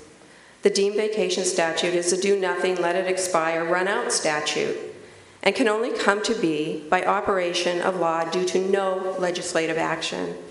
For the operation of a deemed vacation, the town has to wait until the end of the next 20 year period and let the town's rights run out by expiration. If the town takes no further action, does nothing by November of 2036, and thereby allows the expiration of paper streets that they extended for future acceptance. That's important. Extensions are for future acceptance, because you only extend because it's valuable and you might accept it. It's not usually for something that you might vacate.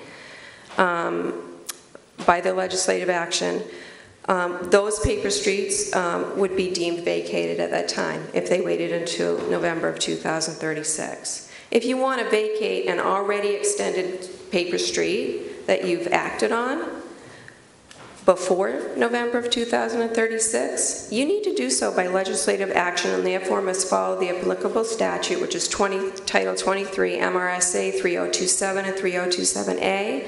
It requires you to notify all of the lot owners and mortgagees of record, triggering the necess- necessity for Shore Acres lot owners to file to protect their rights. Um, Please review the paper street statutes um, and make sure that what I'm saying is true, but I'm pretty sure it is. Mrs. Murphy, your time is up. Okay, thank you. Please, please, please do not accept this agreement. It's a bad deal.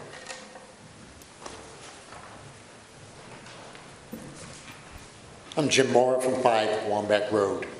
I understand the town received more petition signatures than any previous petition to accept Surfside Avenue Paper Street. The town needs to respond accordingly more than the town has to previous petitions.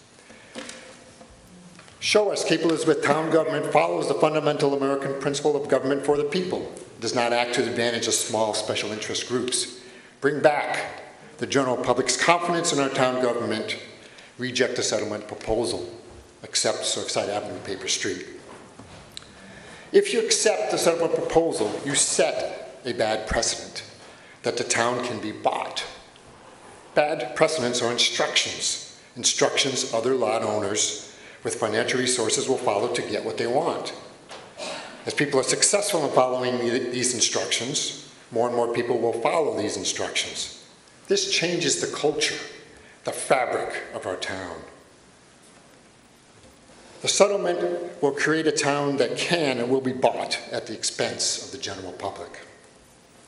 I do not support the settlement proposal. The proposal is bad for the majority of residents. If you proceed with the proposed settlement anyways, be aware of the following. The settlement proposal, Exhibit A, which showed up in the documents for this meeting, states in Note 6 that lot boundary extensions are based on 33 MS, MRSA Section 469A. The town has been applying 23 MRSA for paper streets. The town agrees to 33 MRSA that may impact the status of many of the other paper streets in town. As it's now clear, some paper streets have significant value. Be cautious of agreeing to 33 MRSA until the impact of this on other paper streets in town is known. The town cannot agree to adjacent lot boundary extensions based on 33 MRSA Section 469A 6A as the present fee holder, Shore Acres Land Company, or in this case its heirs, reserve title to the Surfside Avenue paper street. You cannot agree to Exhibit A of the settlement agreement. The settlement proposal does not follow the town's land sale and acquisition policy. Please review this policy, including the policy definition of real estate, which includes right-of-ways, and requirements for Conservation Commission recommendation and closed bids. The town council does not have the will to do what the general public clearly wants based on about 1,400 petition signatures. Take this off your task list by bringing this to the voters in November. Thank you.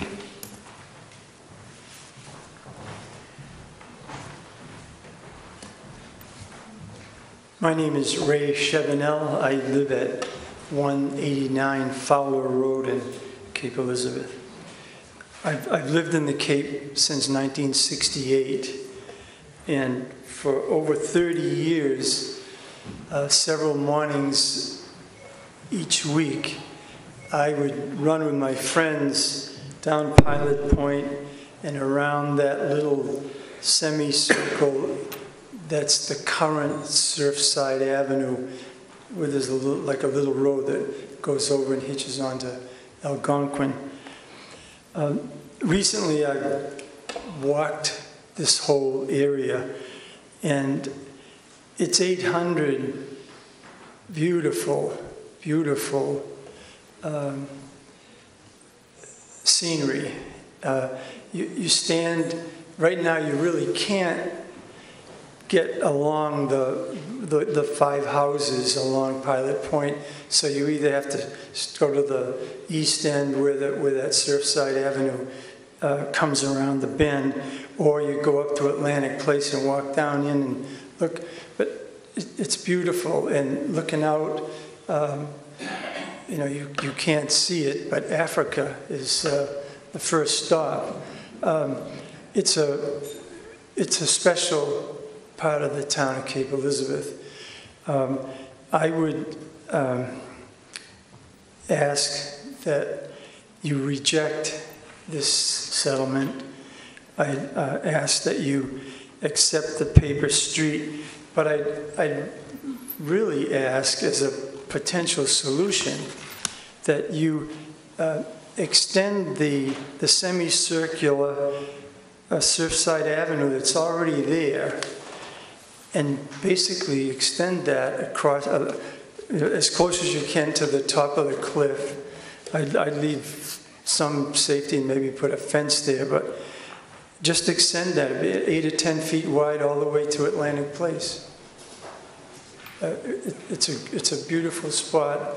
Uh, the town and the people of the town would uh, very much appreciate it and, and have a chance to walk there. Thank you. Thank you.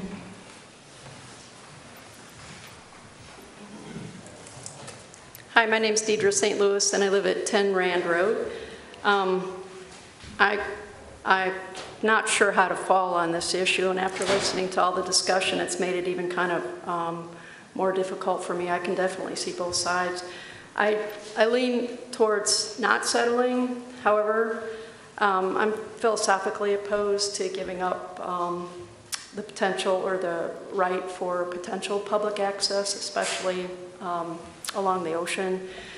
Um, and I, I know the one attorney said that this wouldn't happen, but um, I'm especially opposed if it would block access to the general public on the gravel road that's labeled as Surfside Avenue on tax map U12. Oh, and I meant to mention, I just my comments are just kind of food for thought, I guess, at this point. I did have a little trouble um, getting all the information that I wanted from looking at the website, and I, I did still have some questions that were unanswered. I know it's difficult to provide probably all the information that you guys may have access to to the public, but I, I did have some holes in trying to figure the issue out. Um, another piece of um, food for thought would be uh, if the settlement agreement is approved, uh, the $500,000 seems kind of low to me. I'm not sure what that was based on. Um, one idea I had was maybe you could look at what the fair market value would be for an easement of the same size in that area. I don't, I don't know if that'd be higher or lower than the 500,000, but I certainly wouldn't want to go lower than the 500,000. Um, and then the last item um, it addresses language in the proposed settlement agreement. Um, I thought the language regarding the location of the land for which the city would release title is confusing. Um, the proposed settlement agreement map doesn't seem to agree with the language in the, um, the written part of the settlement agreement. And I also had a, difficult time reconciling the location of, in the proposed settlement agreement with the map of the um, U12-5 Surfside Avenue in the 2015 um, paper street report that was modified in 2016. Thank you. Thank you.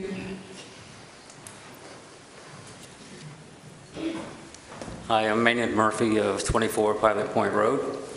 I submitted a letter to the council yesterday, and I would like that to be uh, submitted as part of the record.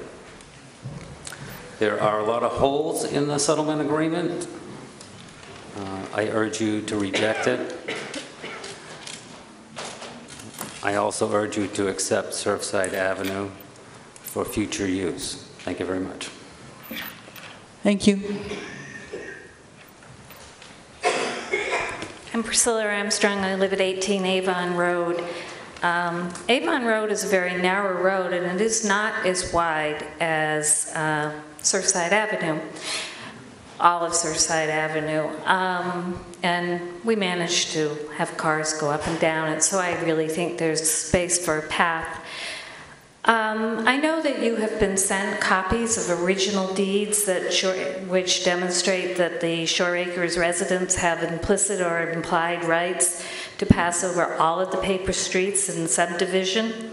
In fact, if you read some of those deeds, they're really kind of amusing, the ones that were written in 19 whatever, saying you can't have outhouses, only you can have them as long as your house is being built, but then you have to get rid of them, and you can't have apartments, and you can't do this. The developer was pretty specific about what he wanted to happen on those lots. So it wasn't any accident that he included language about um, being able to pass over all of the streets in the development. I've also heard people say, well, we have the gravel portion of Surfside Avenue, which is true, but it didn't just happen to happen. There was a lot of infighting over that and deals being written and people having deeds rewritten. It wasn't magnificently, magnanimously given to all the other people in Shore Acres. It, it was a hard-fought battle. And I am also curious um, with the settlement agreement that we were told during all of the discussion of the paper streets that if a paper street is vacated, abutters could um, have possession of 50%, and the abutters on the other side would be eligible to claim 50%. While the abutter on the other side, in this case, is the ocean, they're probably not going to claim it, although maybe in 100 years they will. Um, it seems to me you're giving an awful lot of land away for not very much money. I do not think that the settlement does adequately protect me as a lot owner with deeded rights, and I would urge you to go back to the drawing board. Thank you. Thank you. Polly Wilcox, 17 Cape Woods Drive. Um, I just have a few things, I've said a few things in the past that made people laugh, so maybe this will lighten the mood. Um, we lived at 12 Surfside Lane when we, or Road, when we moved here and we're building a house. And whoever said it's uh, walking in front of that house is like being in their backyard. That, that's true. Um, I don't know what you should do. I thank you so much for doing the job you're doing. It is not easy. Um, I feel so badly for the personalized attacks that are coming through. And um, I was thinking about the comments about the rich people. And, you know, when we lived there, of course, it was a different time, but there was a real sense of community and um, people working together. And the many years that I have lived here, we moved here in 20, 2000, there has been uh, a real sense of community. The lawyer I called when we had legal problems right before my husband's death lived in that neighborhood, and uh, the neurologist who helped me with my multiple sclerosis lived in another Cape neighborhood, and the janitor that I ran to when I was buying something at a store recently was my old friend from Cape High School when I was volunteering there. Uh, I, I really don't think it's good to be pointing figures at who makes what money and this, that, and the other. I hope that there can be some kind of a working together solution. That's all I have to say. Thank you.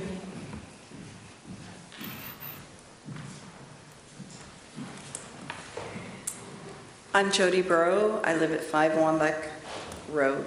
Um, I have two point, points that I'd like to make. Um, my first point is that uh, people change and properties change, and a vote to vacate is forever. This is a 1991 letter from Stuart Wooden, then president of the Shore Acres Improvement Association. And at the time, Stuart lived at 33 Trundy Road. And in this letter, he advises the lot owners of Shore Acres to sign a release deed in order to protect their implied and expressed rights to Surfside Avenue and to protect their property values. You see, in 1991, Stuart was a champion for the neighbors' property rights on Surfside Avenue. And now he lives at 33 Point, Pilot Point Road and is one of five plaintiffs suing the town, demanding the town council give up the town's rights to make Surfside a public access point. Give up the town's right to make Surfside a public access point to the shoreline. Five, five property owners are suing the town. Two are full-time voting residents, the Leopolds and the Woodens. Two are seasonal visitors, the Summers and the Goldmans, also known as Pilot Point LLC. And one, the Khalidis, no longer reside at their property on Pilot Point Road. I'd also like to point out that most of the properties that abut Surfside have been bought and sold in the last 10 years. For example, 29 Pilot Point Road has changed hands three times. My point again people change, property owners change, a vote to vacate is forever. My second point the only thing that's changed in this mediation agreement is the offer of $500,000.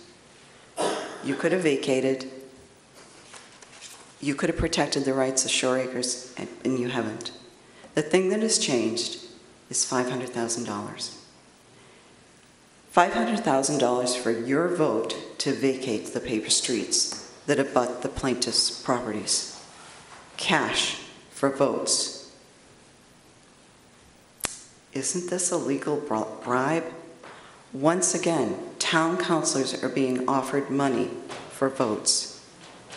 My question to, the, to you is this. If a mediation agreement with an offer of $500,000 will get you to consider vacating five properties on Surfside, then what amount do you need to accept Surfside Avenue, Atlantic Place, and Lighthouse Point Road? Mrs. Bro, your time is up. Because here's the thing you never asked the Cape citizens what they're willing to spend to protect and preserve the shoreline access. Thank you, thank you, your time is up. Make this a referendum question and let the people decide. Mrs., okay.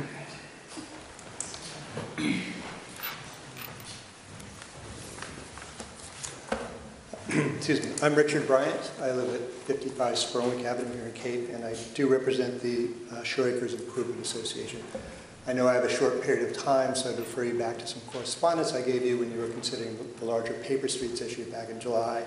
Um, And most recently, last week, I sent you along a letter of my correspondence with Stuart Parkinson about some specific issues with the settlement agreement that you're uh, taking comment on tonight. The big picture issue I'd like to point out here is that my client, the Shore Acres Improvement Association, opposes the settlement for two reasons. One, it is not comprehensive, and the second, it doesn't protect the private property rights of other lot owners within the Shore Acres neighborhood. It's not comprehensive in a couple ways. One way is, is, is that it's a product of a mediated um, discussion that didn't include some important people. So implied right holders throughout the subdivision were not at that table. Um, Express right holders were not at that table. The fee owners underneath Shoreside Avenue and the uh, Oceanside uh, strip of property beyond Surfside Avenue were not at that table. I know that the town has expressed through several representatives that they had in mind protection of private property holders' rights, and I appreciate that.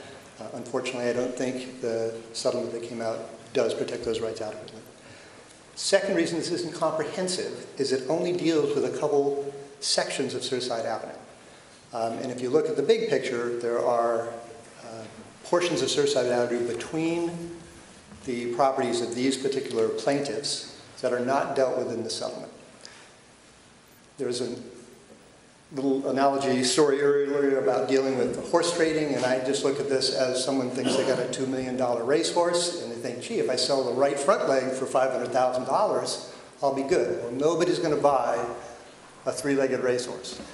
So what you do with these plaintiffs' rights ends up affecting the rights of the public in the adjacent properties elsewhere along Surfside Avenue. So I think the notion that you're going to, um, that you're not going to, to affect other, other rights and have unintended consequences, I, I don't think is accurate.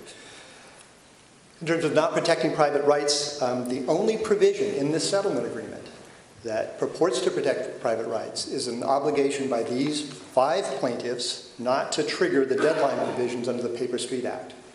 There's already been some commentary this evening about how you're attempting to use the wrong section to vacate the, public's, uh, the paper streets here, which I happen to agree with. But this settlement agreement does not preclude these plaintiffs or anybody else from taking other affirmative acts to diminish or to try to eliminate the private rights across Surfside Avenue. And it gets to be that much harder, obviously, if there are sections of Surfside Avenue that you are uh, vacating the private rights at that, that end up making it impossible to exercise rights across non-vacated portions here. Mr. Bryant, your time is up. Okay. Last thing I'd point out here is I would urge you to read the real estate acquisition and disposition policy, which clearly covers this piece of interest in real estate you're conveying, and it requires that this council uh, give notice Thank to the you. Conservation Commission. Thank you, Mr. Bryant. Hello. Uh, my name is Jan Corey. I'm a 17-year resident of 27 Trundy Road. Uh, this town is being held hostage by five very wealthy plaintiffs who have filed a lawsuit demanding that the town uh, hand, basically hand over to them some valuable shoreline property. You want this lawsuit to end, and that is very understandable. But what possible rationale do you have for accepting this proposed settlement other than to avoid litigation? Some of you appear to have been persuaded that you are exercising fiduciary responsibility by accepting this settlement. But I believe you are exercising fiduciary irresponsibility through the precedent you will set, because this precedent will cost taxpayers down the road dearly. For you have opened the door to future litigation um, by a number of people who may simply, because of their wealth, decide that their personal interests really should be honored above those of the rest of the community. So by accepting this settlement, you're letting down the community you were elected to represent. We elected you to protect our interests. No one is really asking you to spend any money at all except for these five plaintiffs. None of us have asked you to spend one thin dime.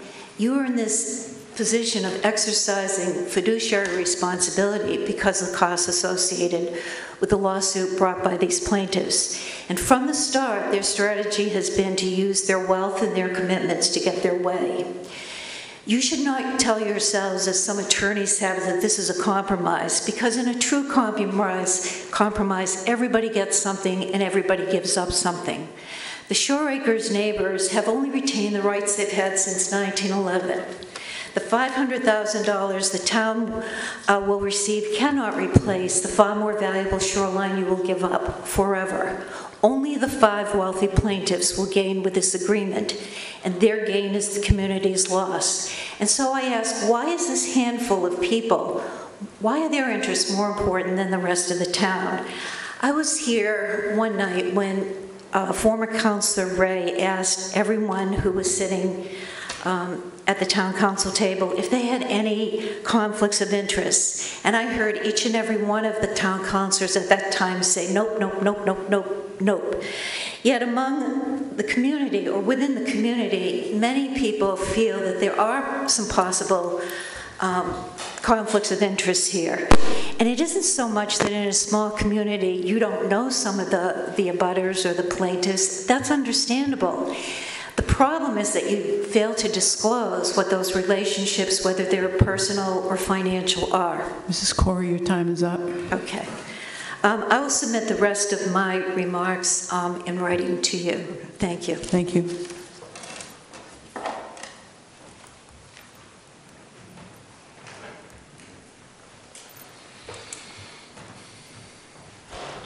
Good evening, uh, town councilors.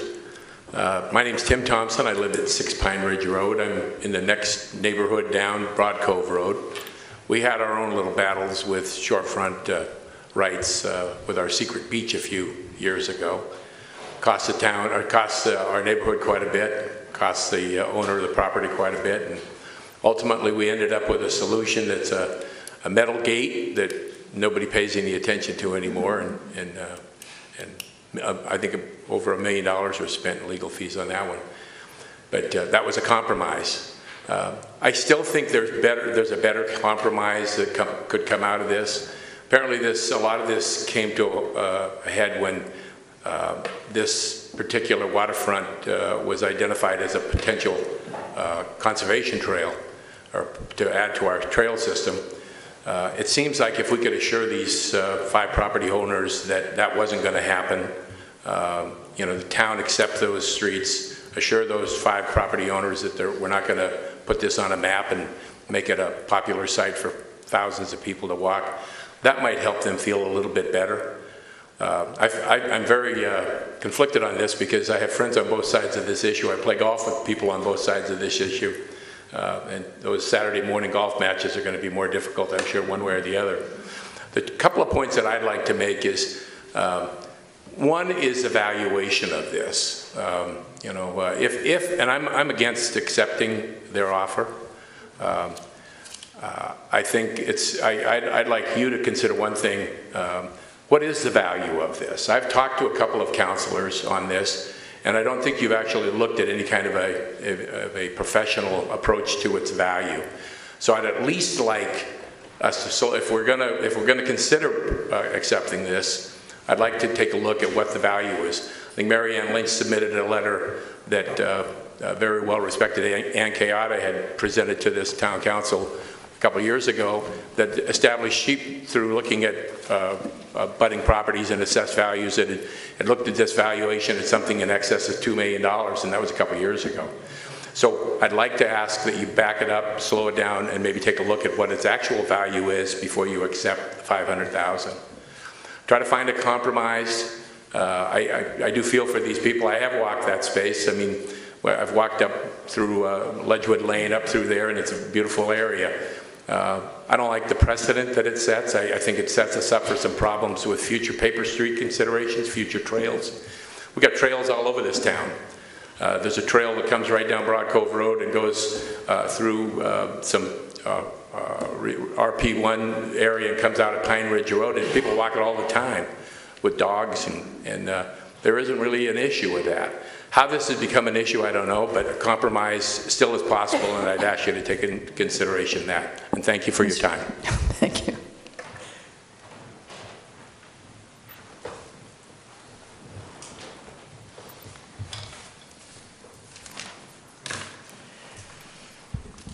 Do we have anyone else who would like to address the council during this public hearing?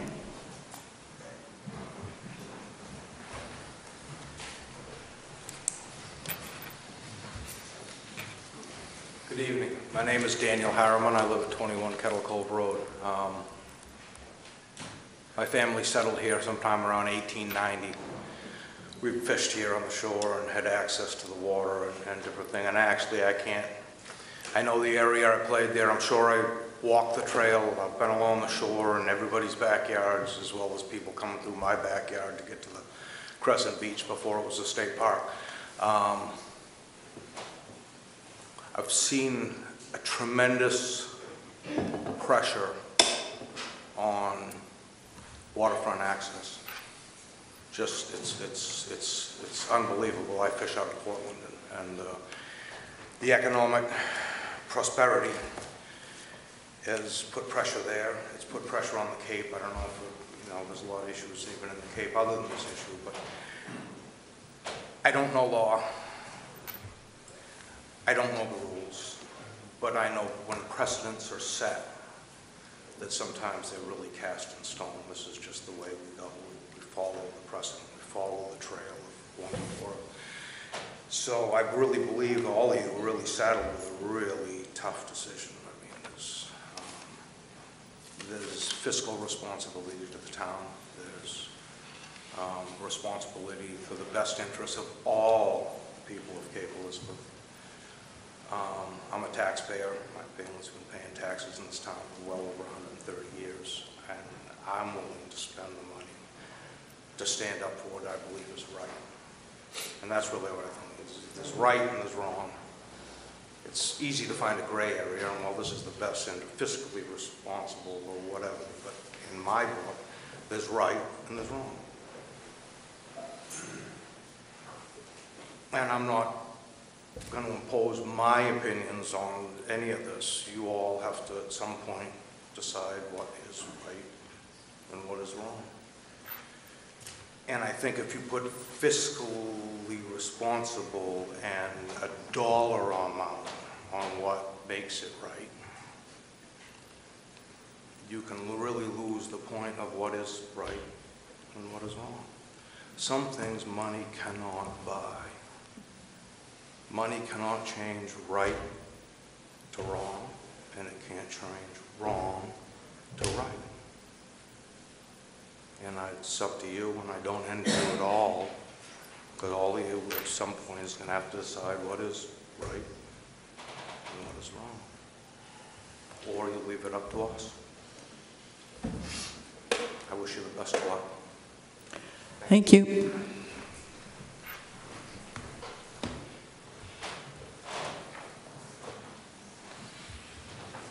Good evening. My name is Bob Corey. I live at 27 Trundy Road with my lovely wife, Jan, um, who is a friend. And I'm also a friend of Tim Thompson, and I play golf with him, and he and I are pretty much on the same side of mo most things, politically and in this particular case. Um, I love numbers. I'm a former CPA. I think about big numbers all the time. And $500,000, by the way, in a stack of $1 bills would be 170, 185 feet tall. It would take five days, five and three quarter days, counting out $500,000 at $1 per second nonstop round the clock. We can avoid all of that by not accepting the $500,000. but um, if we took it all in, I don't think if, if this were accepted and we accepted the money and we got 100, we got $1 bills, it would weigh 1,102 pounds, which I can't carry. And who wants to deposit that kind of money in the bank? It was one year and four days ago. That's 369 days ago that Penny Jordan uh, uh, made a comment on this issue and said, and, I, and I'm quoting here because being a new resident, I take notes when I come to the town council meetings. Penny, Penny Jordan made the comment, the town council's obligation is to protect town assets. And I would maintain that the paper streets and shore access is a very, very large town asset that we should continue to protect. Thank you. Thank you.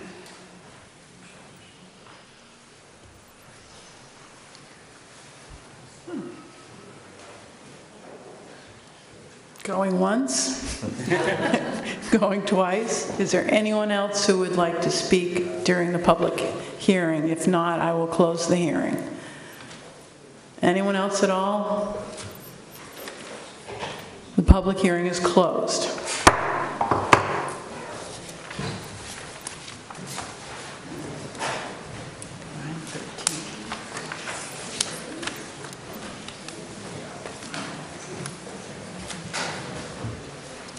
Can we take a two-minute break while everyone's... Um, Great idea. With the council's permission, would, would we like a up to five-minute break? Okay, we'll be back in five minutes. Thank you, Council Strong.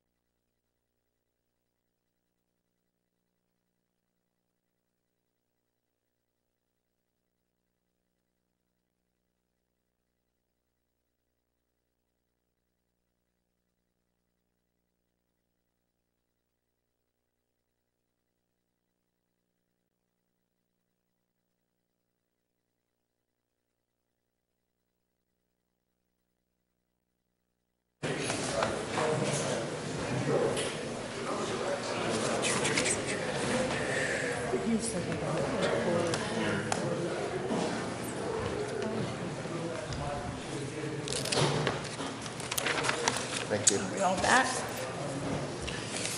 Okay.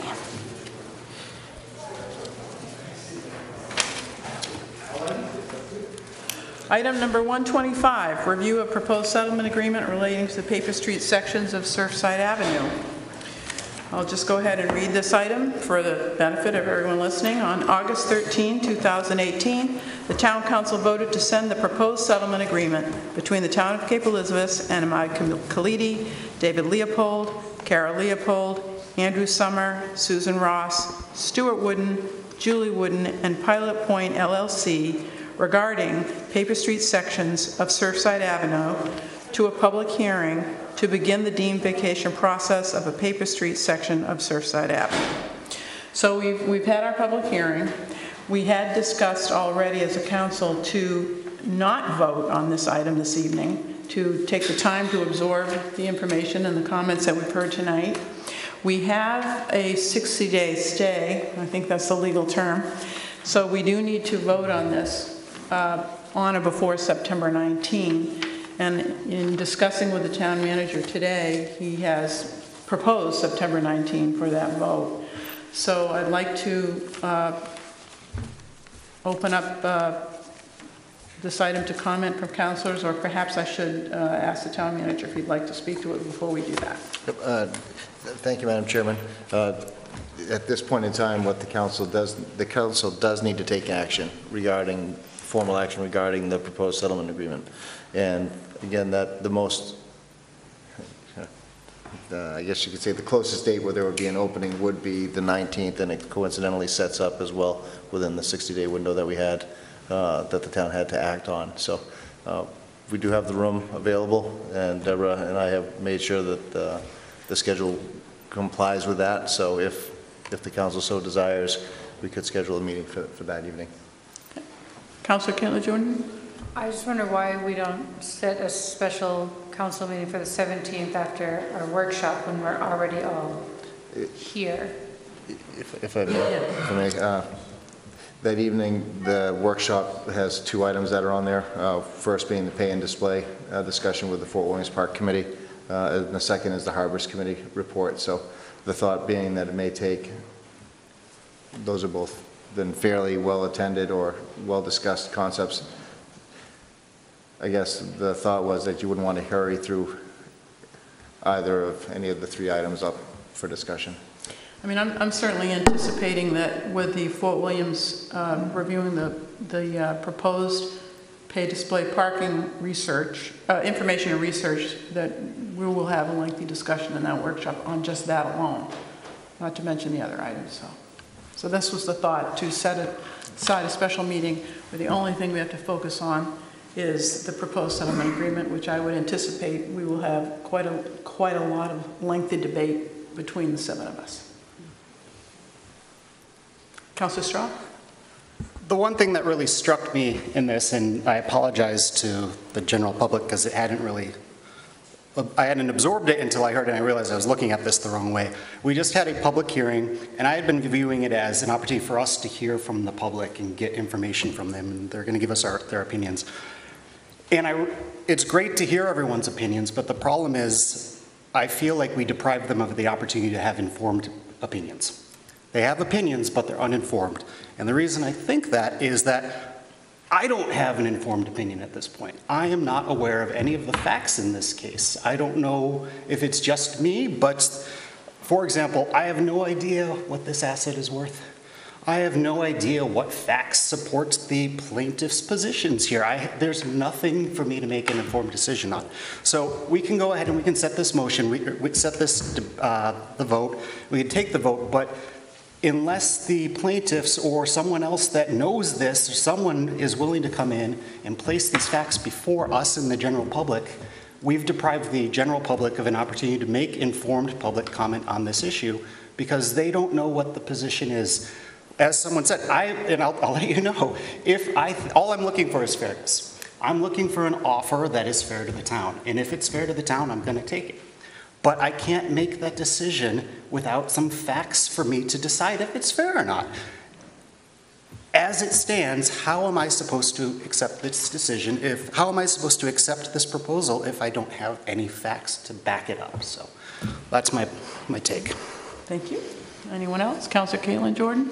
I was going to say, unfortunately, you have the disadvantage of coming onto the council this year.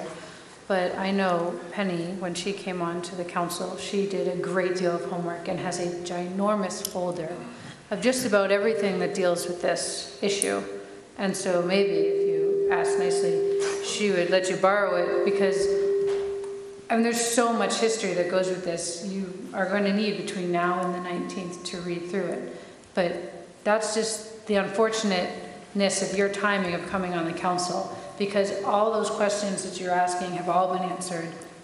The information's out there. There's just a great deal of reading that needs to happen. Councilor Straw. Uh, So does that include an appraisal of the land? I I believe at one point, we have lots of numbers, we've heard lots of numbers from Matt, we've heard lots of numbers from, I, I just, I don't know if there's what, I can't give you an answer without looking at it. Councilor Randall? Um, I borrowed Penny's notebook, and it was very helpful. Um, but I also jotted down that question, um, what is the cost? What is the value? Um, I know that we have an estimate that was provided that was around 2 million. That's not really an official assessment of the value of the property. I'm curious to know that. Um, how much would these properties increase in value if they were to gain this extra land? Um, how much would it cost if the town were to purchase this strip of land? Those are questions I think that are legitimate, people brought to the table today, um, and questions that I also have. Those I, I jotted down the same ones because the dollar amounts haven't really been uh, documented. They've been discussed, thrown around, but I think we do need to have that information.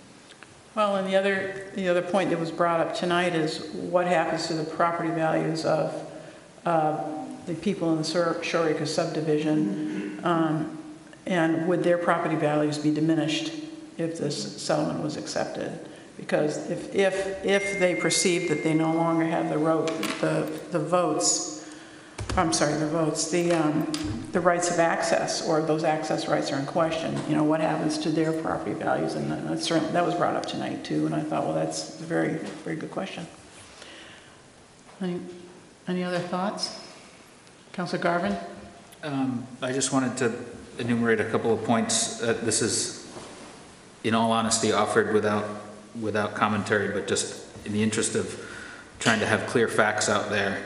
Um, A few points that were brought up by some of the speakers. Um, Mr. Volz had asked for, um, sort of along this line of questioning, um, a lot of the details.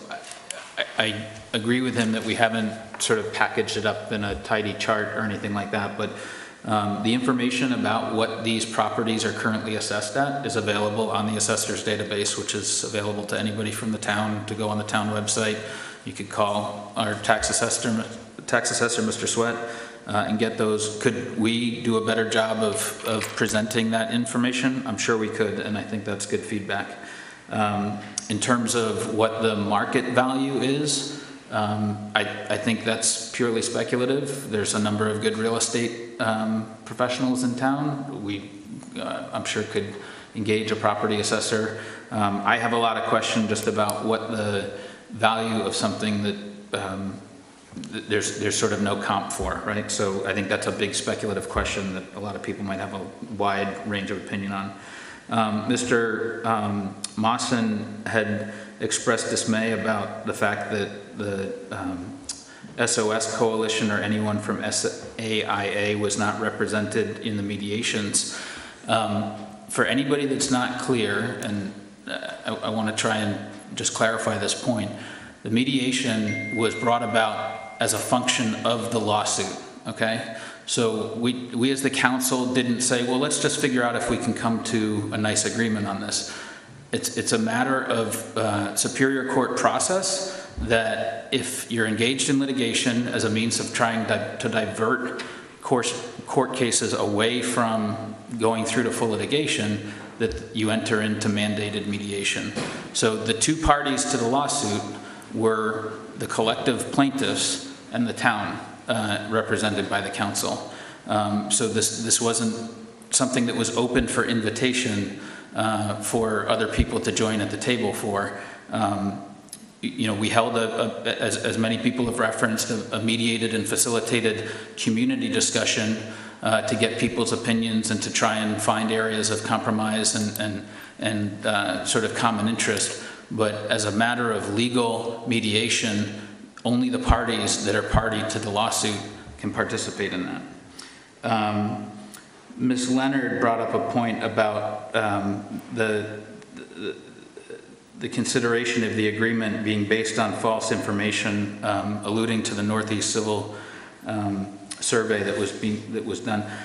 I I just wanted to point out that there are a number of exhibits and a number of documents that we've looked at collectively as a council, as well as the, the three councilors and the town manager and the attorneys that were specifically at the mediation, um, that have a wide variety of interpretation of the boundaries and things like that. Uh, To, to, to assume that any decision was made solely on that exhibit would be incorrect. Um, I am interested to explore further with the attorneys some points that have been brought up tonight by um, uh, both Mr. and Mrs. Murphy, as well as I think a couple of other, just to make sure that we're not doing something incorrect in reference to the statute. I think that's a very important um, question that's been raised. Um, I would, I would uh, just like to sort of correct, though, the- there was a statement made that the reason you extend is on the assumption of acceptance, and um, that may be one interpretation. Another is that um, you don't have full facts on something. There were a number of reasons we extended various paper streets that had nothing to do with shoreline access or a paper uh, a potential walking trail um, that had to do with the need to preserve for some other reason a decision down the road, but it didn't assume acceptance, so I just wanted to make that clear. Um, Ms. St. Louis had some questions on um, the lack of clarity on the property, of uh, which properties and, and their location on the map. Um, Again, I think this is a matter of material presentation, but we could certainly work with the planner to provide specific information about, um, about those. Um, and just the last thing I wanted to say is that um, uh, I wanted to go on the record as taking great offense at the comment that um, anything related to the financial matter here uh, could be in any way construed as some sort of payment for votes. I was greatly offended by that. Thank you very much.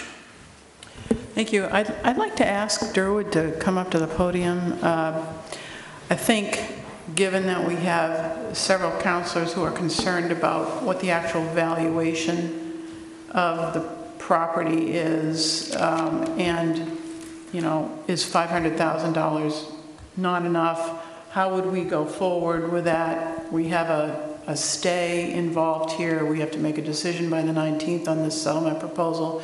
But we've got, and we, you know, what was discussed in mediation is confidential, but how, how do we legally respond to the, the questions that have just come up from several councilors, as well as people that were, you know, Sure. speaking to us? I, th- I think one option you might want to consider is to have an executive session uh, Mhm. the evening of the 19th, starting with an executive session.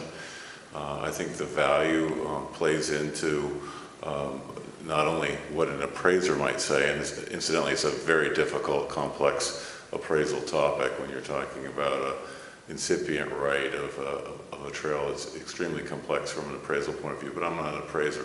But then you have to also um, consider the risk of lit- litigation risk on, on top of the appraisal uh, in, in that sort of analysis. And that's the type of analysis you go through a lot in settling litigation, where you're looking at a number of replacement costs of a building, it could be uh, a replacement cost of uh, medical bills, um, it could be any number of, of forms of damages in, in a civil case, uh, and this is a civil case.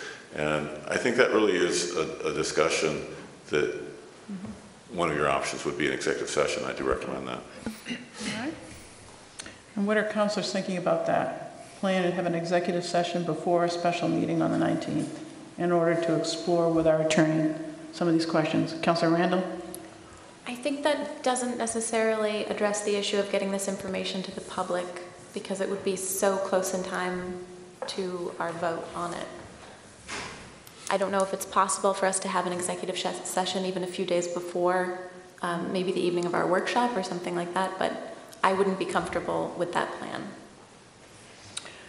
Councilor Caitlin Jordan? I just had a question again about the 19th. Is everybody else available on the 19th? Is Sarah available? I mean, I'm not, so I'm just curious, like, when we decided on the 19th and when we were going to get notice about it, I just assumed, I guess, when we discussed it earlier, that we were going to have it on the 17th because we already had a meeting scheduled. Otherwise, we would have, I mean, Penny, Valerie, and I just spent the whole break trying to book a meeting for the Jordan Trust, and that was difficult. I'm just, such a very big topic. I'm just a little disappointed in the process of how we're going about picking what night to have it on.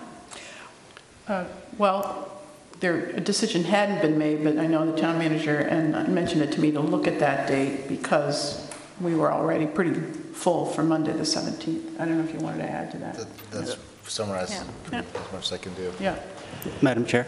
Uh, Yes, so how's this So I I understand that it's been phrased that we need to decide by the 60 days, but I think that isn't probably correct. I think it would be good if we decided by the 60 days. Would that be, Uh, Councilor Straw, I think we could speak with the, the counsel about extending that uh, for a brief period of time. I don't have, I haven't had that discussion with them. And so to the extent that we went past that 60 days, it would just mean that we'd have to file papers in response to some motion or something? What would be the implications? Well, we have worked informally with counsel to get an extension of, of time uh, to file our opposition to the summary judgment, which is more than some papers. It's, uh, Uh, it's a enough. very in-depth uh, process, and, and we would want to postpone that if you could until you um, decided up or down on this. Um, And I'm reasonably confident we could probably buy some more time, but probably not a lot more time.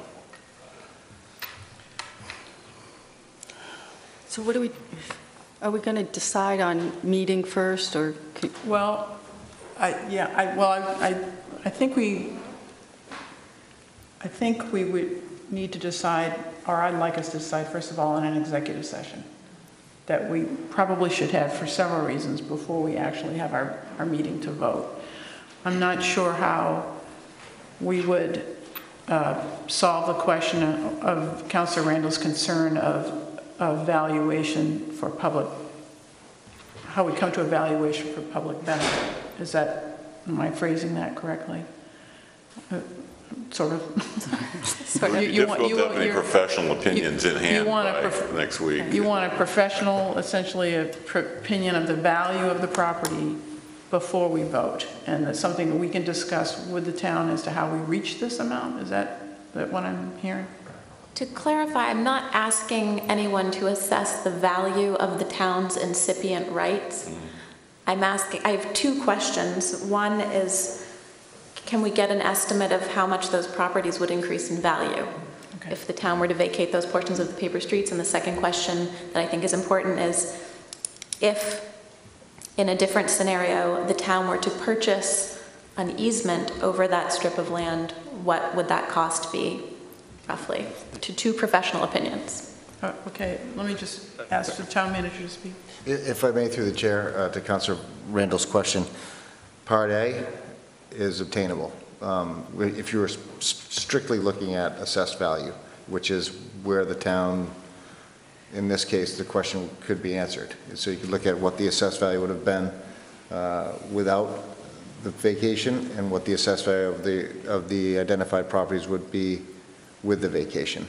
Um, Part two is significantly more difficult. Um, As a reformed real estate appraiser for 25 years, uh, I would look at this and say, uh, it's all about comparables.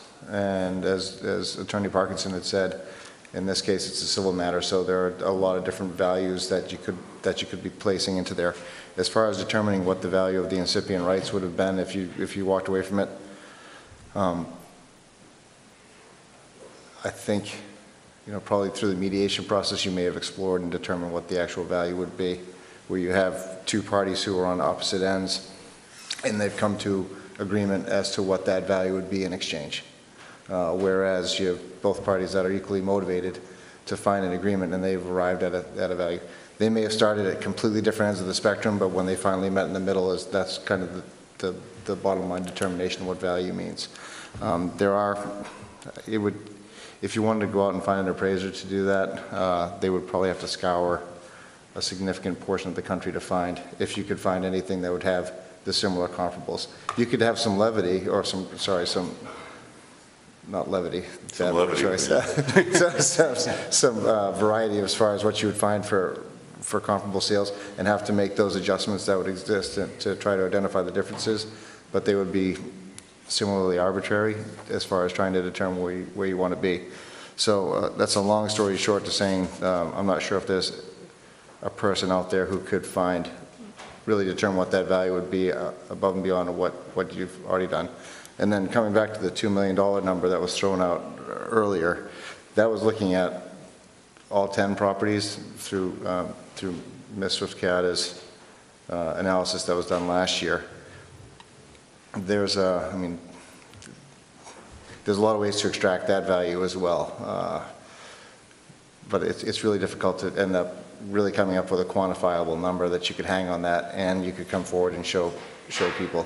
Whereas you could look at this and say, three councilors and their attorneys and the town manager met with parties from the other side and they arrived at this agreement and that's what's on the table for discussion this point in time. To go back and try to change the number as well, you're looking at completely voiding the agreement as, as it is as well. So there's a lot of additional dominoes in play, so sorry for the long-winded answer, but that's, that's kind of where you're at. Well, I've, I've got a question, Councilor Randall. I'm, I'm wondering, are you asking that, that if this was all, had all been private property from the beginning, and there had never been a paper street, and the town of Cape Elizabeth said, gee, we'd like to purchase an easement for a walking path along this entire strip, is that what you're asking? That is exactly what I'm asking. Okay. In a different world, different scenario, What can we would it get a cost? number? What would it I I can cost? imagine we've Yeah. purchased other easements in this town, there must be something similar. We can at least get some ballpark numbers about what it would cost. Well, you know, we could certainly try, we could, we could see if the town planner can come up with anything. I mean, she certainly is our guru on Paper Street, um, Greenbelt trails and all that. But, yeah, I mean, I certainly don't recall that, I mean, I've been on the council long enough, we've certainly approached landowners for easements here and there. I, I don't recall that we've done this on oceanfront property, but, but it would be, at at the very least, an interesting financial exercise to see should, what would it cost if we ever tried to do that? You know, and thinking in terms of what is the value of what we're giving up or selling, if that, you know, and how to compare those. I mean, that would be one, one way to look at it or whatever. So that's what I was just going to ask you. I think. Can I add one more thing? Yeah. uh-huh. To clarify, I'm not terribly concerned about the numbers here. And I know, I think I've made my position clear that to me this is more about principle, but I think it's an issue that's important to a lot of residents. Mhm. And so I want to make sure that they have that information and that other councilors have that information. Well, I, I think we could certainly ask our, our town planner to perhaps look at easements that we have purchased on pieces of land. How we would compare them to a property like this, I don't know, but we can certainly try, I would think. Uh, Councilor Straw had something. I think Councilor Randall has basically said it all so well. Uh, She she succinctly did it. Um, And that's, th- those are the numbers I'm looking at. Um, I was just going to make a comment. There's this concept called ZOPA, Zone of Possible Agreement. And if you have us on one side, we have a zone we're willing to agree to. They're on the other side, they have a zone they're willing to agree to. You can reach an agreement if there's that overlap. But when there is that overlap, then it turns into um, how much of the overlap do we get, how much do they get? And I, I'm concerned if there is an overlap, first off, it's not even clear if there is an overlap, but if there is, I want to make sure that the town gets its fair share of that overlap. So that, that's the point. And this quote's been stuck in my head, and I've gone back and forth on whether I'm going to say it for so long, um, and I'm just going to say it. So I can't check my knowledge at the door with this case. I'm no one's attorney. This isn't legal advice in any way, shape, or form. I've known about this quote since before I was on the town council. It's just sitting here in my head. And every time this case comes up, all it does is it runs through my head. It takes about two minutes to look it up.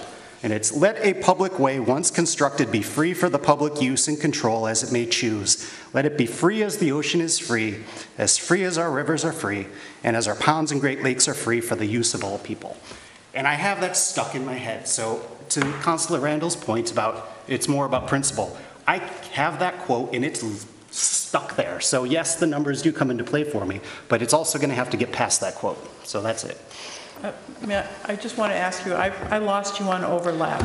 What what were you, When you're negotiating a settlement or any issue with someone, so let's say um, I'm going to give up something that's worth $10 to me. So I'm not going to give it up unless I get at least $10. The other side, it's worth um, to them um, $100. So they're willing to pay me up to $100 to get it. I'm not willing to take less than 10. That difference between 100 and 10, that's the zone of possible agreement, and it's all about, do we get our fair share of that? okay, thanks. And by the way, that quote was an SJC opinion, Okay. not legal advice. Well, let's get back to um, scheduling an executive session, scheduling a meeting. I think that, um, you know, we, we had planned to not vote on this issue tonight. That was something we were all aware of. Um, And, and um, so let's get back to the 19th. Um, Are people available on the 19th? Will they make themselves available? I I Councilor Penny initially, Jordan? I initially, um, actually, I have a meeting that is a standard meeting uh, on the 19th, but I think this issue uh, is important enough that I would um, try to either shift that or just not attend it. Thank you. Caitlin? I had that same meeting and something else on top of that, so it's just a lot of, I was already You're already double booked. deprioritizing, yeah. But I'm just curious, like, how, like, you know, is Sarah, you know, she's away, is she going to be back? I mean, I I just don't want to be juggling everybody's schedule if everybody's juggling their schedule. This just doesn't seem, I'm sorry, I... Don't think so. no, I, yeah. Sorry.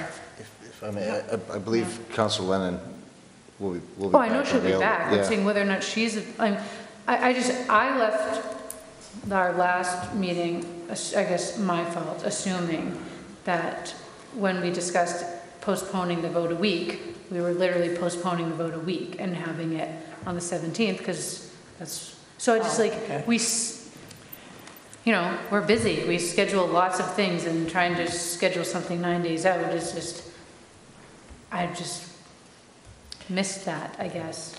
Okay. It would have been nice to know. Well, it sounds like uh, we have a green light from the council, so what we will do is go ahead and plan for an executive session. Uh, I think an hour in advance, was that uh, I- I- What date are we talking about? September 19? Would that be possible? Yes. Okay. Um, We would have, we could schedule our executive session for 6 o'clock. 6 PM. 6 PM here, and then proceed with our meeting at 7, our special meeting on, on voting on this. What, So, what are we having the executive session on now? If it's just getting these numbers that it's not going to be drawn up by Durward?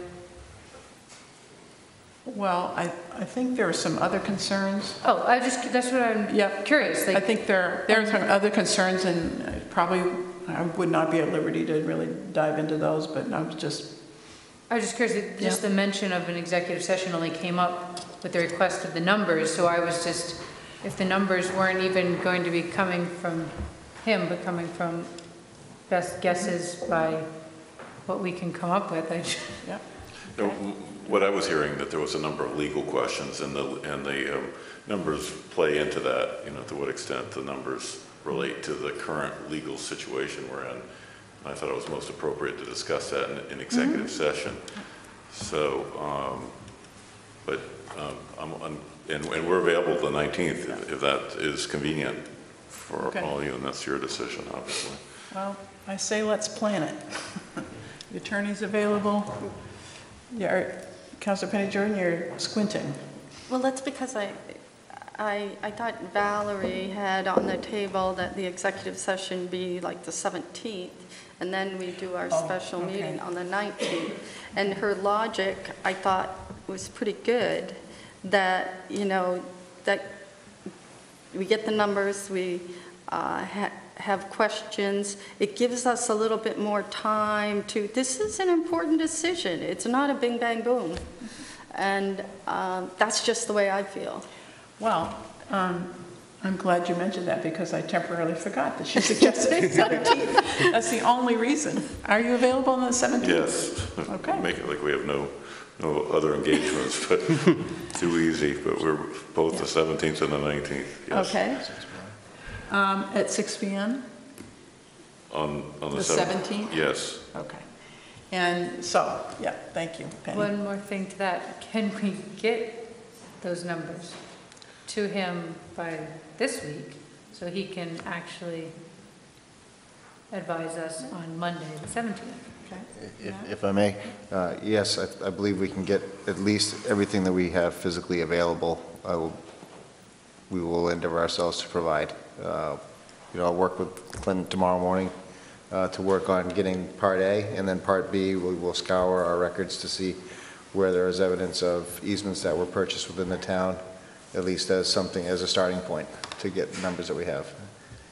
They, they may wild, var- they may vary wildly, but we will get everything that we have available. So I've got some thoughts on that, and I'll work with Maureen to, to work on that as well. I don't know where this fits, but I have to say it so that, um, one of the things that's imperative for me relative to this agreement is the, um, the residents in, uh, in Shore Acres. And I, I, I read the, uh, the, the elements of the agreement, and I hear Durward say, "We did the best, we, we have made it as tight as we can," and, um, but I have a little bit of angst about where, whether something can happen in the future that would impact the, uh, the explicit and implied rights of the, the, the citizens in, in uh, Shore Acres.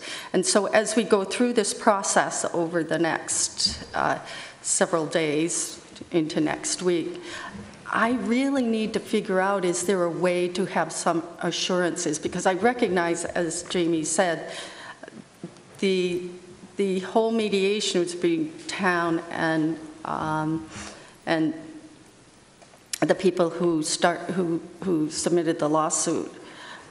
But my whole thing has always been that we need to recognize what's going on in the neighborhood and the rights of the people who live there. And so I somehow need to, through this process, get to the point where I'm comfortable that those are protected in some way for uh, perpetuity. So I don't know how we'll get there, but uh, um, I think that we need to figure out how that happens. Councilor Straw? I agree with Councilor Jordan, um, and I'm sure you're all going to say no to this, but for the time being, I move we table this issue for the time being. And I'd appreciate a second. We have a So second. you're tabling, so, and Penny Jordan has a second, and I think, I can't remember parliamentary can't procedure on table, I think that's it. That's it. Okay, that's Can- it. Can I, just, uh, Well, not- I don't Just a know. procedural question. Okay. Can you have somebody explain exactly what a vote to table that would do to this discussion right now?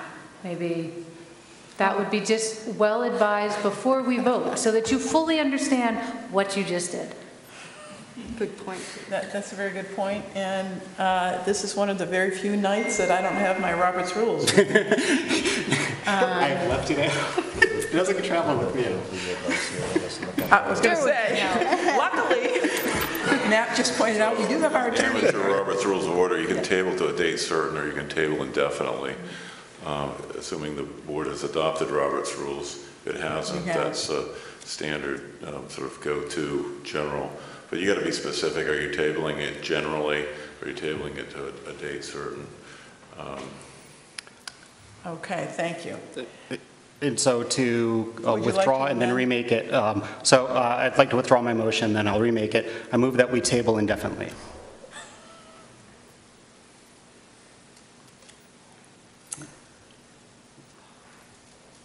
Is there a second to do that? There is not. There we go. So the motion fails. All right. Could I have a motion then to uh, go into an executive session on 6, at 6 PM on September the 17th for the purpose of obtaining further legal advice on the settlement, proposed settlement on- on Surfside Avenue? And, uh, TC at 7, 7 on the 19th, and I'm sorry, what? on town council at 7 PM. Yes, and uh, if I could also add to that same motion that we have, we hold a special meeting on Wednesday, is it a Wednesday? I believe it's Yes. Wed- Wednesday, September 19th at 7 PM to vote on the proposed settlement. So moved. Is there a second? Second. Thank you. Any more discussion? So I Councilor guess Straw? this still raises the issue, and this is why I said indefinitely, because I assume we'd then take it off once we figure this out, because it sounds like we still haven't figured this out. Councilor Randall's point that we still haven't given the public really an opportunity other than, ha here you go, on the, the night that we vote. Um, And that's, I guess, what I'm looking to, uh, how, how do we, how do we address that? So I want to know how this deals with that. Thank you. Councilor Randall? Um, Question for Councilor Straw. By tabling indefinitely, were you looking to have potentially another public hearing? I think, um, yes. I, I don't know what we're going to get. That's the thing is, I don't know if we're going to have something that will be of use to anyone, or if it's going to be, we, did- we just don't have anything. I don't know. So I don't know. Um, yeah. Yeah. Councilor, uh, was Caitlin next? She was. Yeah.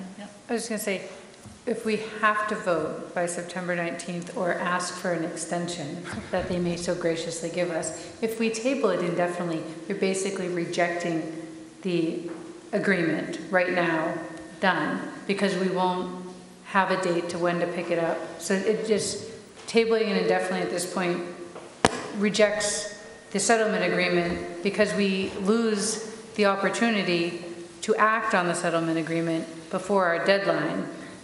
And we won't have another meeting to discuss when we would take it off the table before the deadline. So I'm just saying, we don't want to table it indefinitely, but I feel like if we're going to have an executive session on the 17th, then we can do our darndest to tell everybody that what information we can share will be posted bright and early on the 18th, and then our meeting will be on the 19th.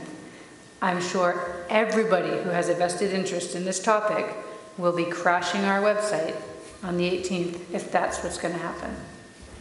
Uh, Councilor Garvin? I just want to make a point of parliamentary procedure that you actually weren't able to make a motion to table because there was no question actually pending.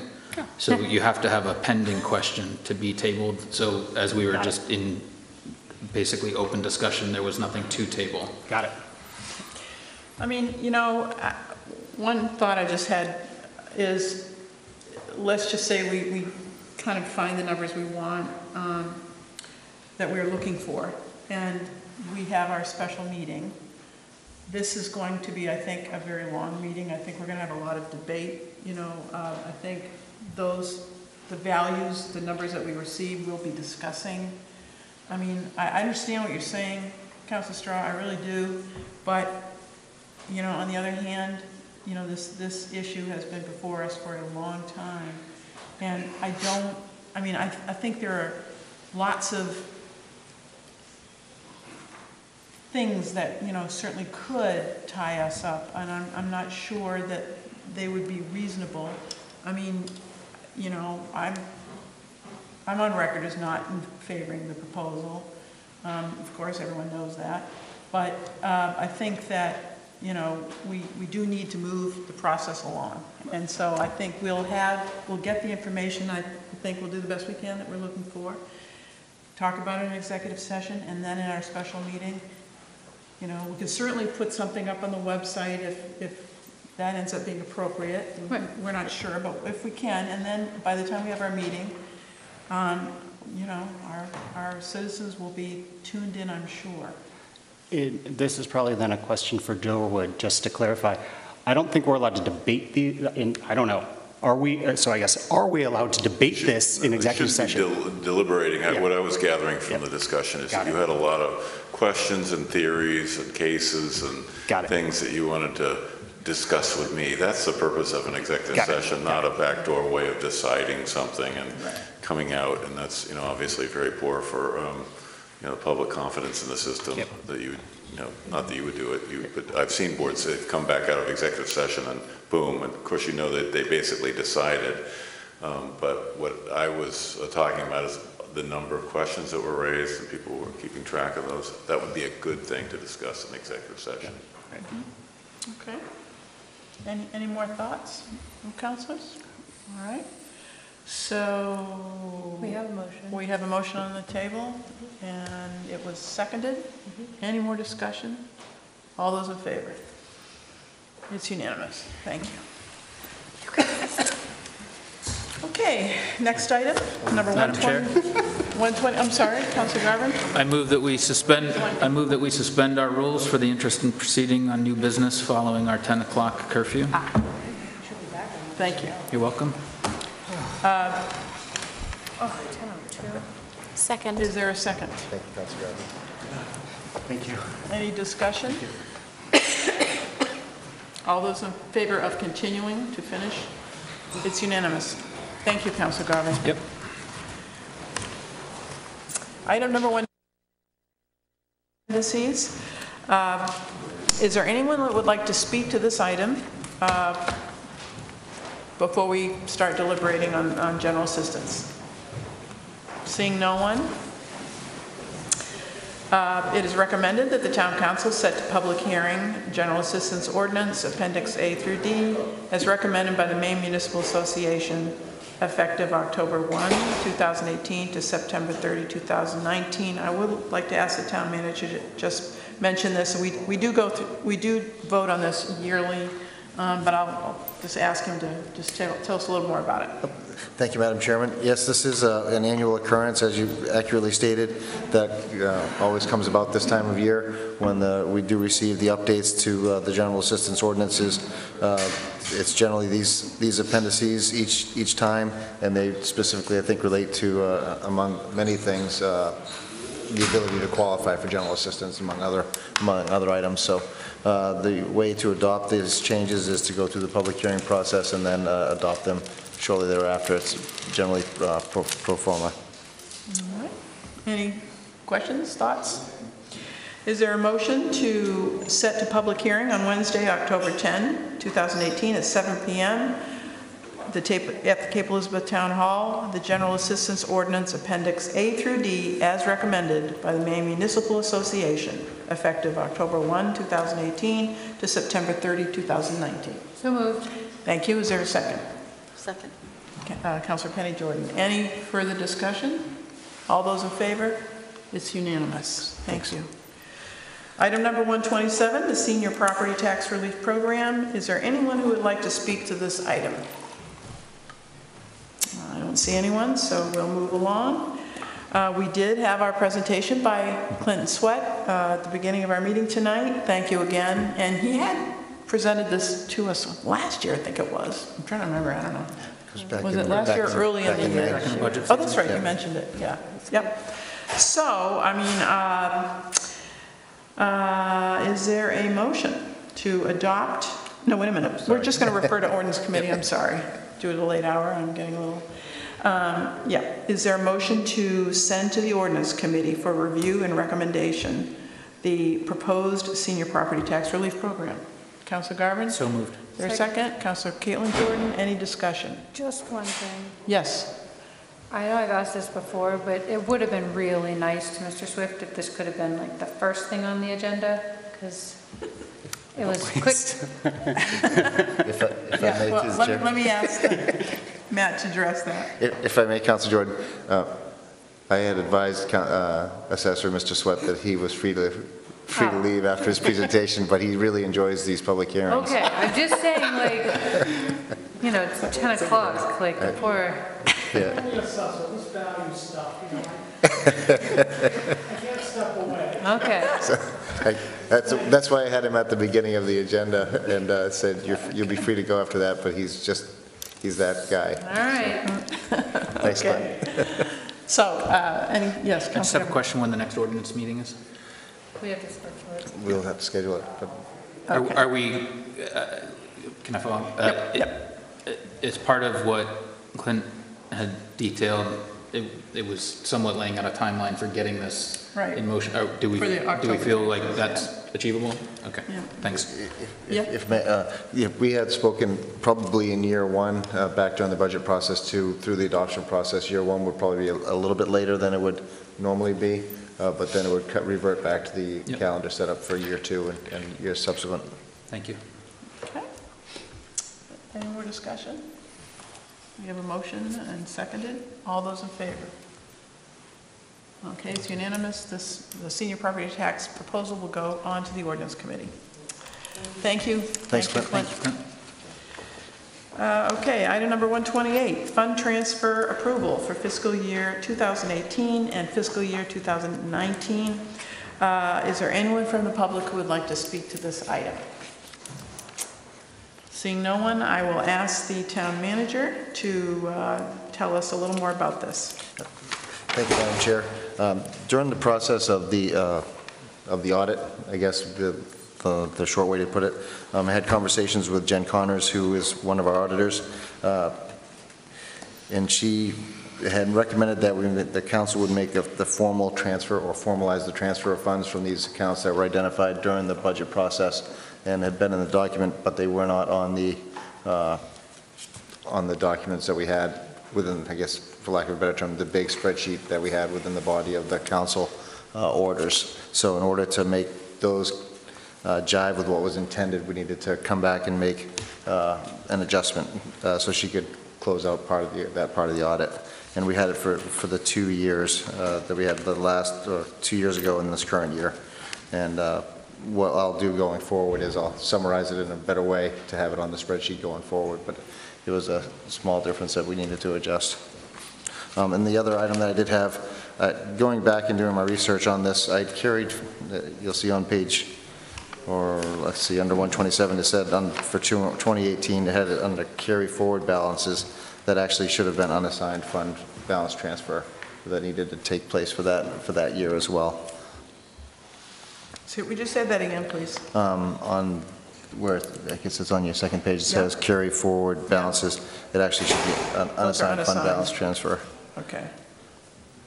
And I went back through multiple uh, earlier budgets just to make sure that that had, and it was a question of just uh, using the proper terminology. Okay. Okay. And that there, there, there is no, you know, no change in taxation or anything along those lines, just making, officially getting authorization from the council to make those fund transfer, transfer balances happen. All right, is there a motion to approve the identified fund transfers listed below for fiscal year 2018 and fiscal year 2019 in accordance with the town auditor's recommendation? So moved. Councilor Randall, is there a second? Councilor Penny Jordan, is there any more discussion, or? If if I may, Yeah. could, could the record show that the- instead of it saying carried forward, that it said unassigned fund balance? It just, uh, it's, uh, I don't want to have to have this conversation twice, so I apologize for the oversight. You have that? Yeah, okay, yep, okay, town clerk has that. Thank you. Yep, any discussion on that? All right, all those in favor? It's unanimous, thank you. Is there anyone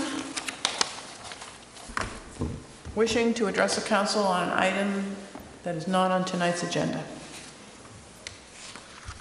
Seeing no one, may- could I have a motion to adjourn? So moved. Caitlin Jordan, and a second? Second.